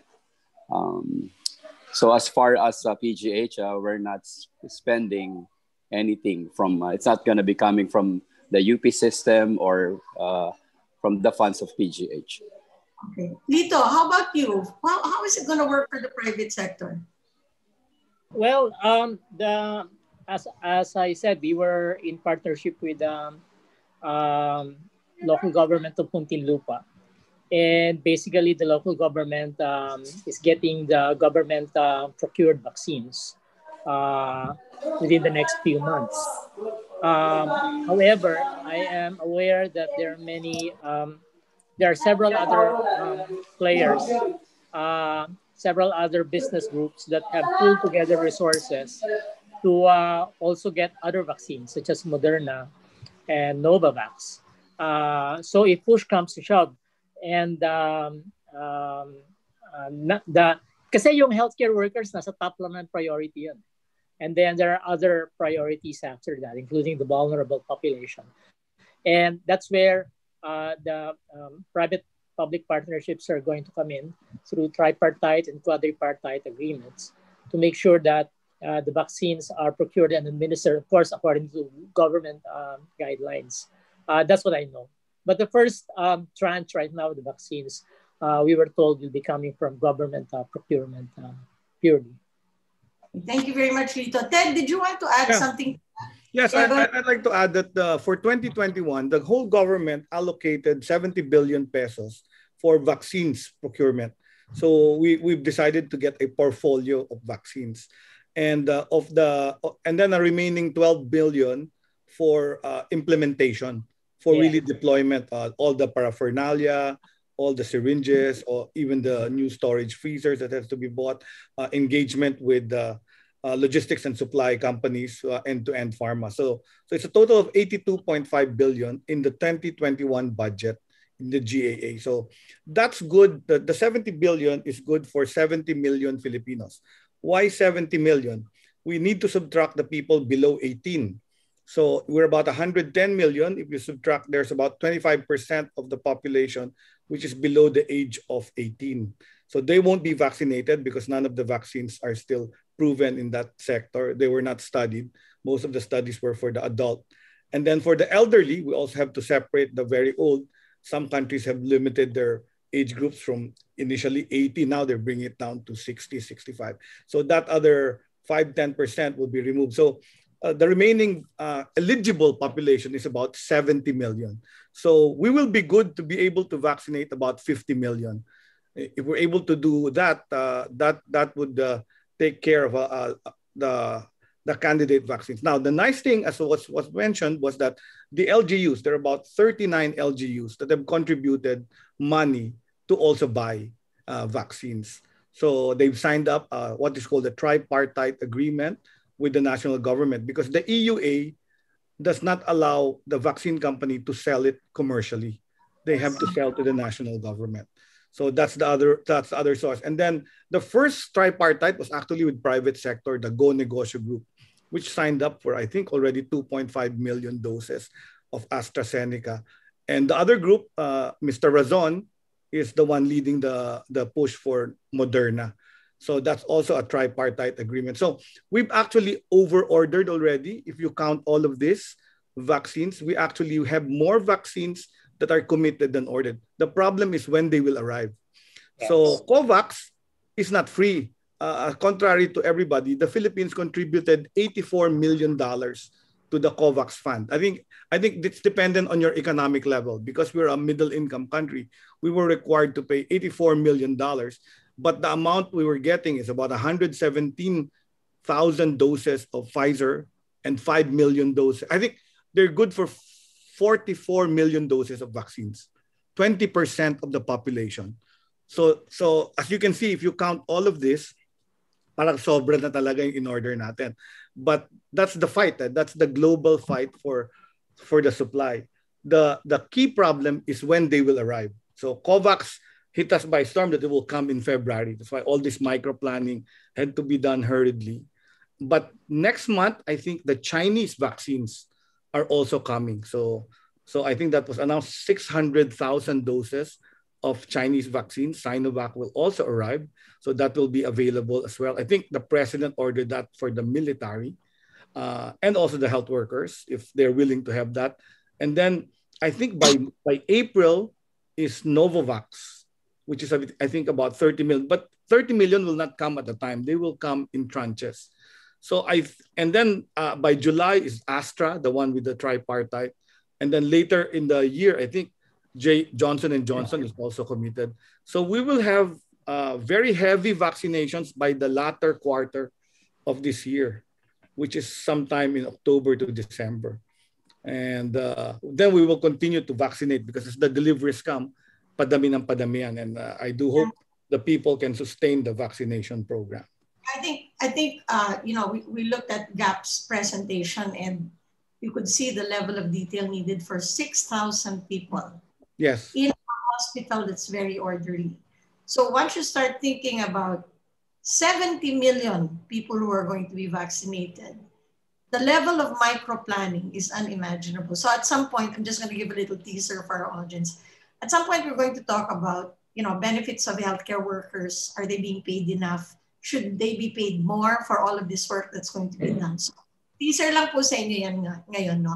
All right, so uh, let me turn over to Raymond. I think we have someone in the audience who we're going to put on cam. Go ahead, Raymond. Thank you so much, Dr. Susie. So may we call on Miss, uh, what's her name? Bianca Dava. She is, let me just get the name. Um, she will be switching on her audio and video.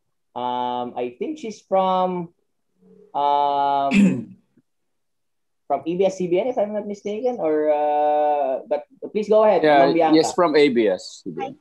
Hi, hi, Doc. Hi, everyone. Yes, I'm Bianca Dava from ABS-CBN. So, I just want to ask you sa um, Philippine General Hospital po, no? Um, how is PGH preparing po to prevent the wastage of vaccines? For instance, substitute list ready and how many percent of the vaccinees will be listed as substitutes per day? And a follow-up question po, during the simulation exercise yesterday, um, what were the challenges encountered kung meron man po and what needs to be improved po in the hospital's vaccination process? Thank you.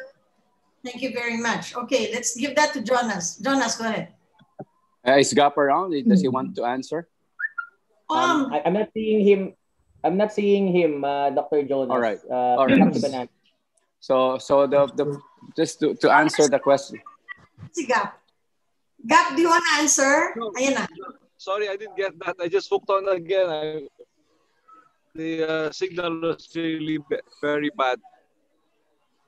Hi, Hi, Dr. Legaspi. Opo, um, yung sa unang question ko po, um, how is uh, PGH preparing po no, to prevent the wastage of vaccines? Um, for instance, meron po bang um, substitute list ready or gagawa po ba ng substitute list? And how many percent po of the vaccinees will be listed as substitutes per day? So there are many ways to save on the uh, on the uh, vaccine. No? One is, of course, the proper handling of it uh, when we were doing our uh, when we were doing our uh, simulation of the vaccine preparation and uh, inoculation, apparently, if you do it very well, you can you can do six uh, um, 0.3 ml um, uh, doses. in contrast to the five that was initially instructed to us, so we'll, we don't know if we can do that with the real vaccine because the real the vaccine is more viscous and may be harder to aspirate, but we intend to find out with the real vaccine if we can really go up to six. No? So we use more of, of the uh, uh, uh, vial allotted to us. No? Secondly, we purposely uh, overbook, like Cebu Pacific, 20%. 30% of our uh, uh, staff, uh, we were initially given a baseline uh, allocation of 4,376, but we're trying to get more. So we overbooked our um, uh, registration just in uh, as predicted by DOH, sometimes 20% do not come. So I think um, that's one way that we have a uh, quick standby line called the QSL. So they come in anytime. Uh, we even included our uh, retirees uh, or and, and our professor emeriti, who we hope will have a chance also uh, as a, on the quick standby line. But the instructions of DOH and WHO is that we uh, prioritize the uh, direct uh, care healthcare workers. So, so we have a quick standby line, and we have our uh, uh, um, aspiration technique that we hope will make us allow us to get more from the vial. Okay, thank you, Gab. Uh, Bianca, you had the second question, right? Yes po, yes po. Um, Doc, on one day, we're gonna have yung mas malaking dry run po, no? But then, during the simulation exercise po yesterday, um, assessment na lang po, no, uh, where there are challenges encountered and uh, ano po yung mga kailangan i-improve po sa vaccination process ng hospital, if there's any. Okay. So we, uh, what we did yesterday is we broke down the steps, no? We did not do the complete uh, uh, process as a whole uh, uh, as one fluid uh, motion, we broke it down to the screening, to the vaccine preparation, to the inoculation, and then of course the, man- the monitoring after. we found out that the possible bottlenecks will be in the screening because uh, we you still ask a lot of questions in terms of the uh, current health condition of the patient. No? So more, uh, of course, you have to take the blood pressure and the temperature as well, and the consent. No? And uh, the forms uh, look quite uh, uh, complex in terms of if, for a mass vaccination.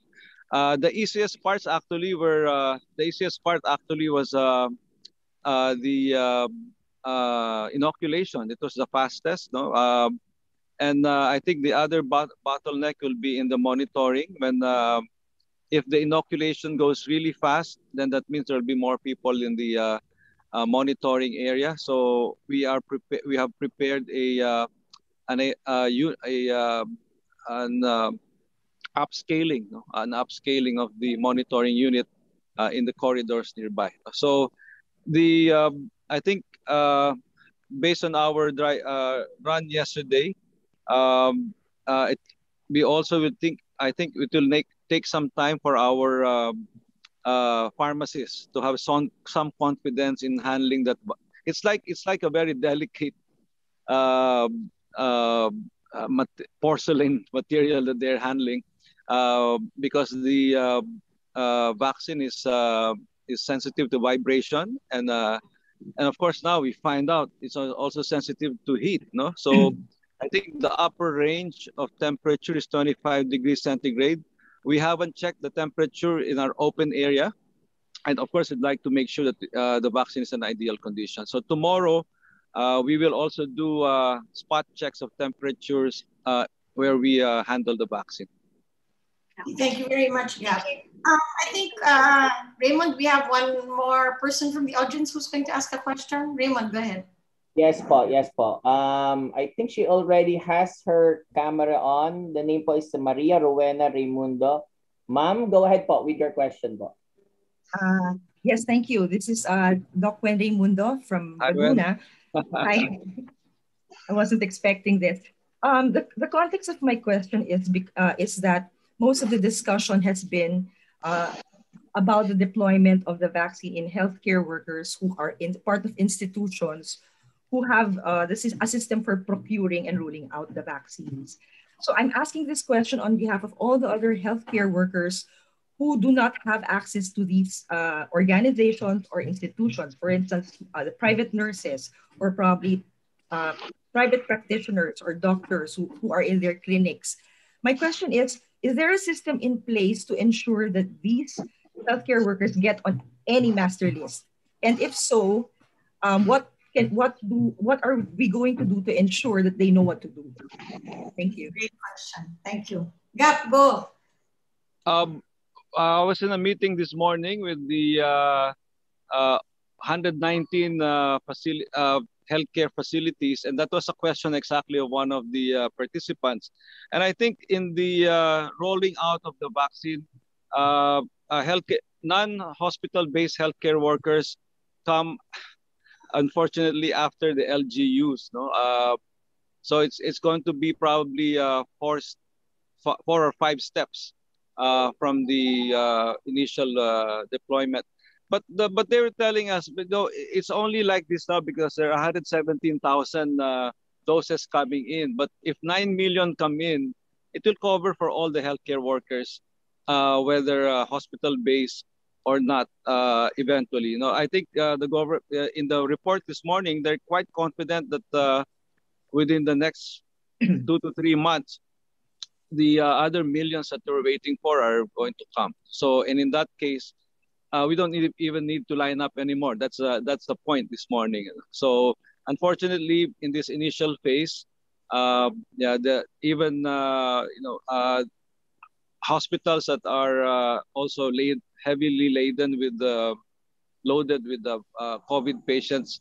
we're, we're not put in the priority list because of the size of the hospital or the number of patients they see. You know? So so the prioritization had had a system that they had to uh, implement so that the uh, effect on the uh, uh major hospitals handling COVID uh, is felt even better. So I think for the uh, message this morning was that we should not worry because millions will come, and I and I think they they do they will in the next few months.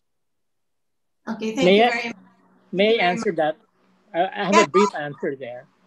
Um, you need to work with the LGUs, and if there are um, if there are small clinics where you are affiliated, because I am affiliated with a small clinic as well in Las Piñas, they are also asked by the LGU to contribute to the master list.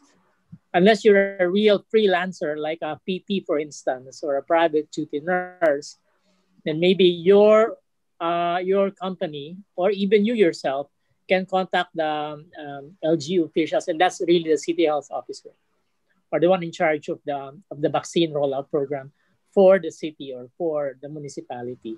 I think that's the way now because um, that's a real gap in the in the delivery system of uh, vaccination right now. Thank you. Yeah, thanks, Lito. I think uh, Dr. Padolina wants to share the Navotas experience, and Ted also wants to say something. So, Christia, please go ahead. Yes, uh, definitely. Uh, the LGUs were mandated by DOH to register the private sector healthcare providers. So we have a COVAX, uh, I mean, any LGU, I think, would have an electronic uh, system that you could enroll yourself, cross-validated and course through the city health officer.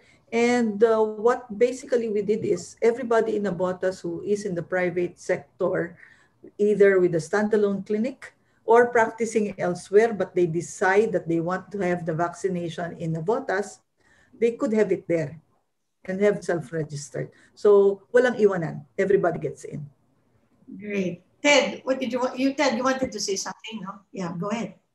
Yes, um, all of these uh, vac- uh, vaccination priorities are covered by the agreements, by the tripartite agreements with the LGU.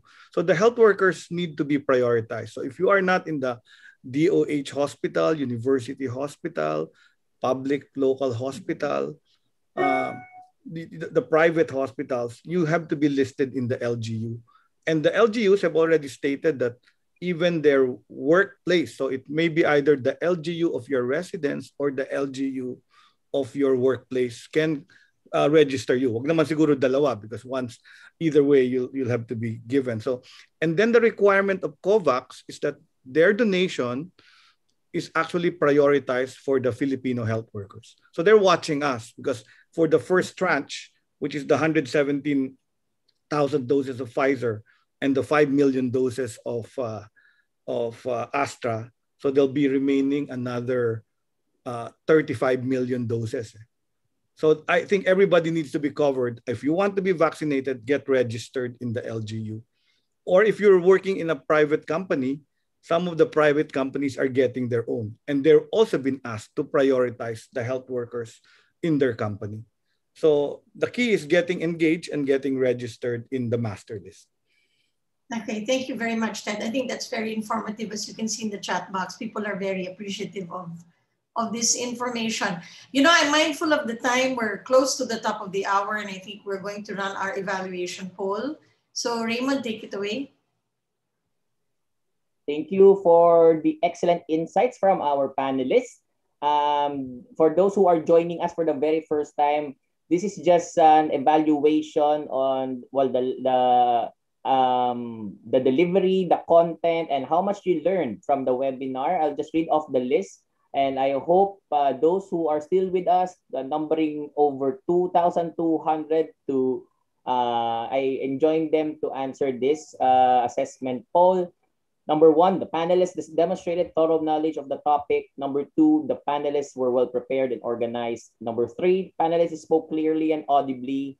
Number four, used appropriate language with technical medical jargons adequately explained. And number five, the panelists contributed to new perspectives and knowledge on managing key COVID-19 health issues. Uh, at this point, uh, I, I will not uh, turn off the poll po, so please continue on to input your answers. But uh, Dr. Susie will now get the final messages from each of our resource speakers.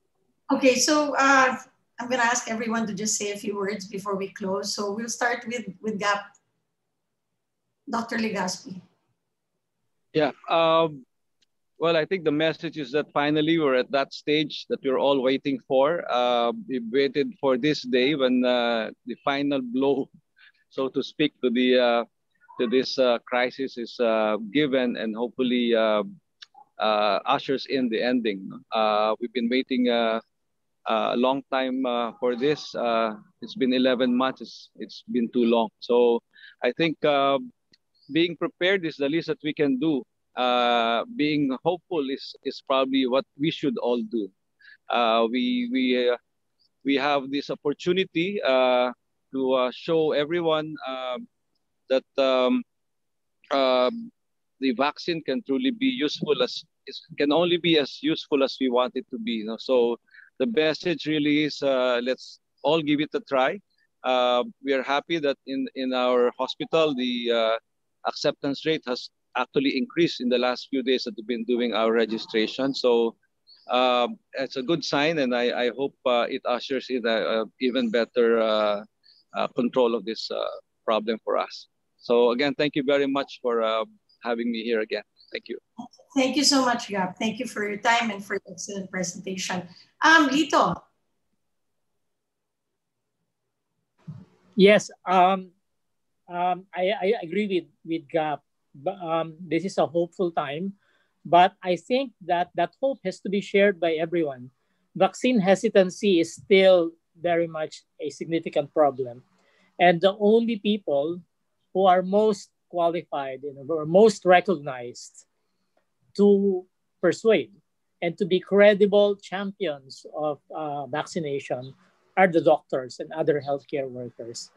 So I'd like to enjoin everyone not only to be vaccinated, but also to communicate in transparent and honest and timely ways and in sympathetic ways to the rest of our um, countrymen because this is the time when uh, everybody needs healthcare workers, not just to um, to care for them, but to convince them that there is in fact a way out of this. So uh, let us be mindful of our responsibility then. and to be up to date with all of the things related to vaccination. Thank you. Thank you very much. It's Lito Acuin of the Asian Medical Center. Okay, we're going to Christia, the uh, Health Officer of Navotas. Yes, um, thank you, Dr. Susie. We're into the home stretch. We need that second wind. I know our frontliners are tired, but uh, we need to do this right and we need to do this together. So it is a timely call for everyone to be responsible and to be mindful with each other. Andito na ang laban ng bayan. So I hope everyone is with us with the right education, right counseling, and right mindset. Let's inspire everyone to do this. Thank you. Thank you very much, Dr. Christia Padolina of, of uh, Navotas, and congratulations on all the work that you're doing. Ted, Yes, Susie. Well, uh, I'd like to look at it from the perspective of public health. And we all know that there are two important things in public health that has saved millions of lives. One is the development of safe drinking water, and the second is the development of vaccines. So I think vaccines that go through the rigorous process are safe, they will be effective, and they will save lives. And this message we as health workers need to bring out to all the people and the other thing I learned when I was Undersecretary of Health is vaccines itself do not save lives. It's the vaccination program that saves lives. So the, the minute detail and planning shown to you by Doctors Padolina, Acuin, and Legaspi are the ones that will actually save lives. Making sure that that vaccine is jabbed in the shoulders of all Filipinos. Maraming salamat and pabakuna na tayo. Thank you very much. Ted Herbosa, Executive Vice President of the University of the Philippines. Okay, so for our closing and synthesis, may I call on uh, Chancellor Menchik Padilla of uh, UP Manila. Chancellor Menchik, go ahead, please. Okay, so am I on? yes, you're on, Chancellor. Go ahead po.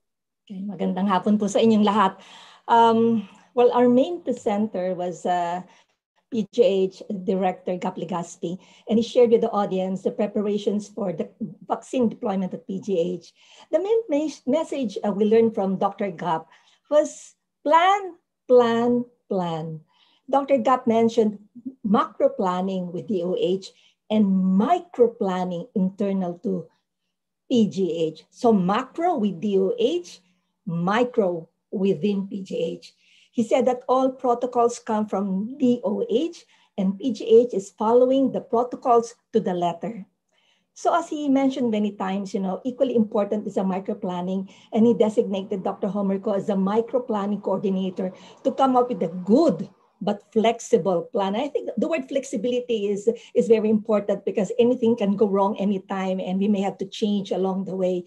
So adding the word flexible, I think is really good in planning. So he showed the various sub-teams that were created to support the planning of the deployment. It's not a single person, but uh, many teams coming on board. But for foremost, actually, was the generation of the master list. That was the first goal. And um, to ensure that uh, we do get the right uh, master list, he actually listed a few things that they did in PGH. Well, first, he said that he gave a very reassuring message to the community. Second, guided by the DOH and WHO prioritization, PGH came out with its own priority listing with a second tier in anticipation of the no-show. And I think you know, if you know exactly when you'll be vaccinated, that brings a lot of uh, assurance that you're on the list, but you may not be the first, but the second or the third. Now, the third uh, point was the planning for the pre-registration.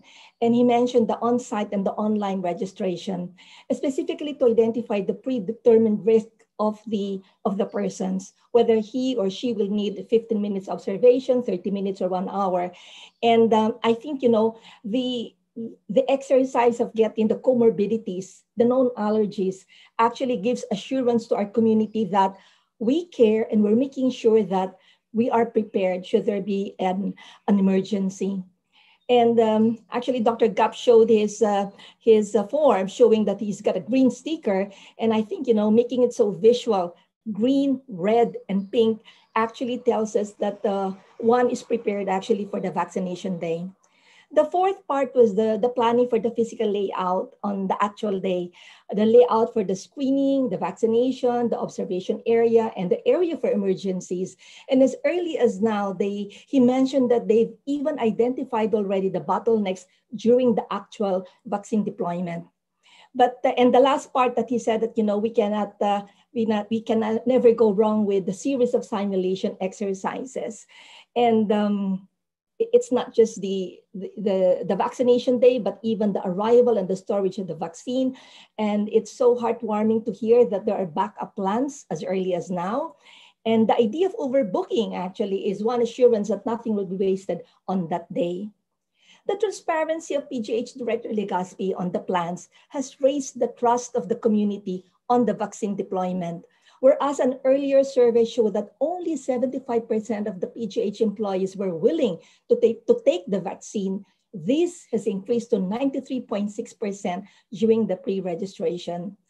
And as PGH awaits for the arrival of the vaccine, another team in PGH is taking care of the communication risk management through the FAQs and infographics. And I hope that, you know, on vaccination day, Director Gap, we have 100%. The whole UP community congratulates the PGH team under the leadership of Director Gap in presenting the plan that aims to protect its health workforce who is committed to continuing service to our Filipino brothers and sisters. We had two reactors. Uh, we had uh, Dr. Lito Acuin, Chief Medical Officer of Asian Medical, Asian Hospital and Medical Center. And he started off by saying, you're only as good as the detail you put in the planning. And again, we, we hear the word planning he had a couple of main messages. The first message was that the vaccine deployment needs systems and integration. During, during this time, we in silos, everybody must be working on the same page every day. The second point was the, the point of simulation, and he had a couple of suggestions actually to PGH uh, Director Gap Legaspi. He said, yes, it is important, but during the simulation, consider the following the risk management and staff safety. In terms of risk management, we have to identify the failure modes in every step and rate the severity of that failure. And um, we just have to identify how, how probable they will happen, what are the highest risks. Uh, this is interesting when he, he cited the, the, the, the borrowing of a of the ultra low freezer in NIH, the complexity of this step, meaning that NIH will have to empty that, that, um, that freezer for the duration of the, the vaccination exercise. So I think, you know, these are the small steps that really make, make a difference. The second point in risk management is staff, sa staff safety. Well, of course, we saw the fiesta mood, you know, yesterday, the past few days, but he said, you know, um, we cannot have that fiesta mode on the day itself. Our second uh, reactor is Dr. Padolina, medical director of the Navotas uh, City Hospital and also the city health officer. And um, he, he, she started by saying, to gain vaccine confidence, we must be over prepared. So again, it's again the planning. The, the, the AVP presented by Dr. Padolina shows the similarity between the PGH planning and the Navotas City Hospital planning or Navotas City planning actually at different scales. The elements are the same. And uh, Dr. Padolina says that, you know, they, they've come up with an AVP as a medium for training and to increase the vaccine confidence among the health workers in the community. Um, they started getting testimonials from their colleagues overseas who actually had the vaccine, reassuring the local community that it's actually okay. Dr. Padolina highlighted the, the, importance of open communication to increase vaccine co uh, confidence. And in the process, she also showed that the micro planning is something that she has transmitted to the community to make sure that they know that management administration actually is ready. And it's interesting that they have already contacted Meralco. So Director Gap, we should do the same. They already contacted Meralco and made sure that should there be a breakdown, we will not be included uh, in the grid that will have a, uh, uh, a lapse in the, uh, in the electricity. They have top volunteers to make sure that they don't lose uh, their workforce. Uh, PGH had their own strategy for this, but in the case of Navota, they use volunteers, teachers, social workers, and other workers who may not be readily needed in the hospital. But at the end, she said, you know, it's all about leadership, and I totally agree with her, because somebody has to provide direction. And in our And uh, from our three presenters, we heard the leadership at PGH, the leadership at Asian uh, Medical Center, and as well as, well as uh, Navota City Hospital. Leadership is crucial because you will have to set the direction. And just a few words from our, from our speakers and reactors. Uh, Director Gap Legaspi said, being prepared is the least we can do. Let's give it a try. And he said during his talk, we should trust the people who chose the vaccine for us.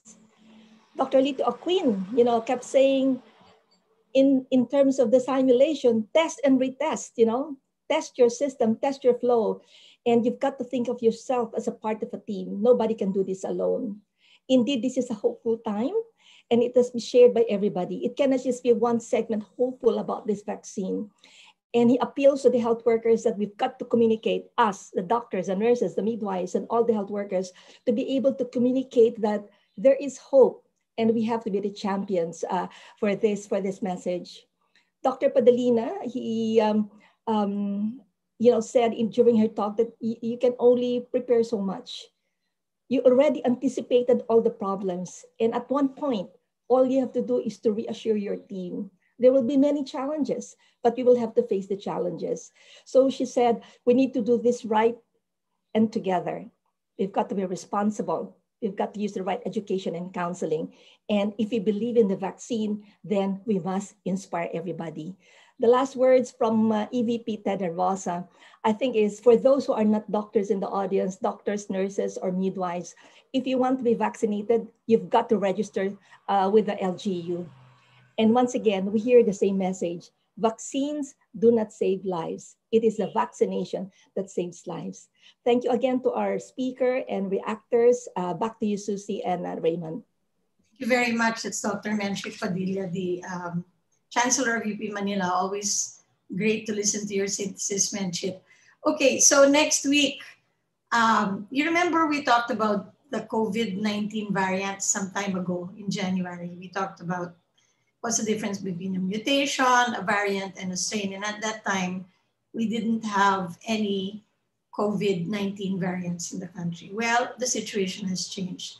And we do have COVID variants of concern. So remember, sinabi ng guest natin, di ba? Marami, marami talagang mutation. But are there COVID-19 variants of concern? meaning are there mutations and variants that we need to watch out for?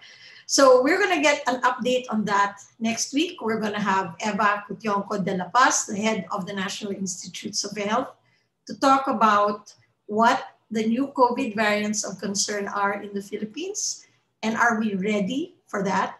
We're going to have Raul Destura, the one who developed the first testing kit for um, COVID-19 in the Philippines, our very own uh, scientist from the University of the Philippines. And we're going to have Dr. Eileen David Wang, who was part of the first group that organized this webinar and has been at the back end of research on treatment, treatment protocols, and getting the best uh, clinical management guidelines out for everyone in the country. So be with us next Friday. Don't miss this. This is a very important uh, webinar. It's we're going to hear the latest on the COVID-19 variants. So um, over to you, Raymond.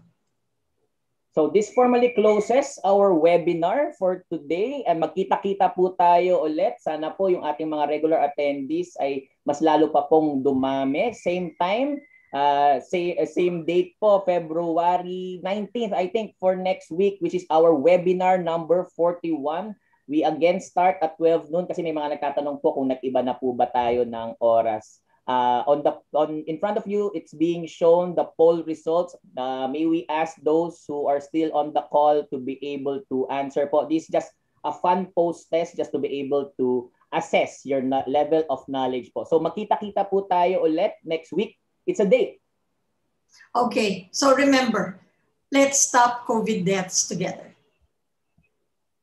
Thank you, Dr. Susie. So to everyone, please keep safe, keep healthy, and see you online. The enemy remains unseen. I'll keep your hand in mine. Let's say a prayer one more time. I know you long for home, but I am here, you're not alone. I'll stay with you until the coast is clear.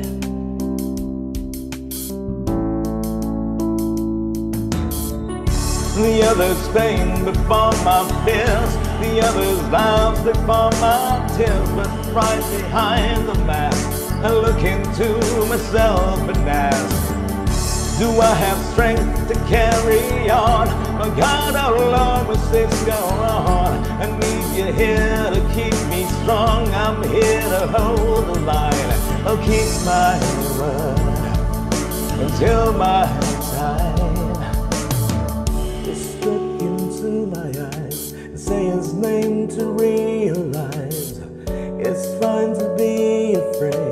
Just hold on to the word he gave. This time will come to pass, cause this salvation's made to last. He'll carry you to see the break of day.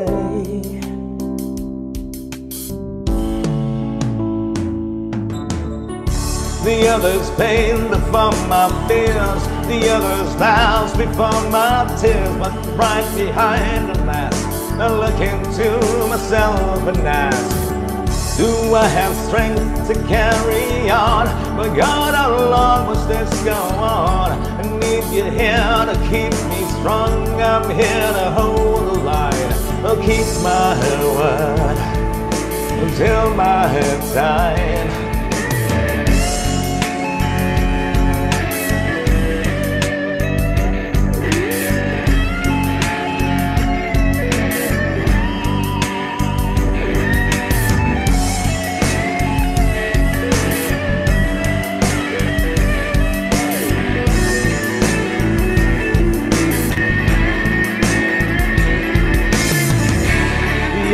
bend before my The others laughs before my tears But right behind the mask I look into myself and ask Do I have strength to carry on?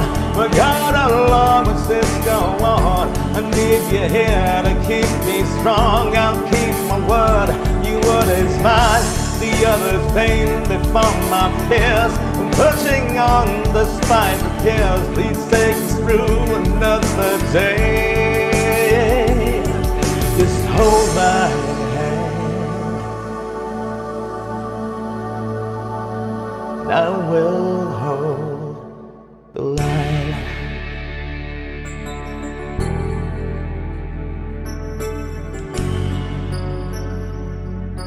I will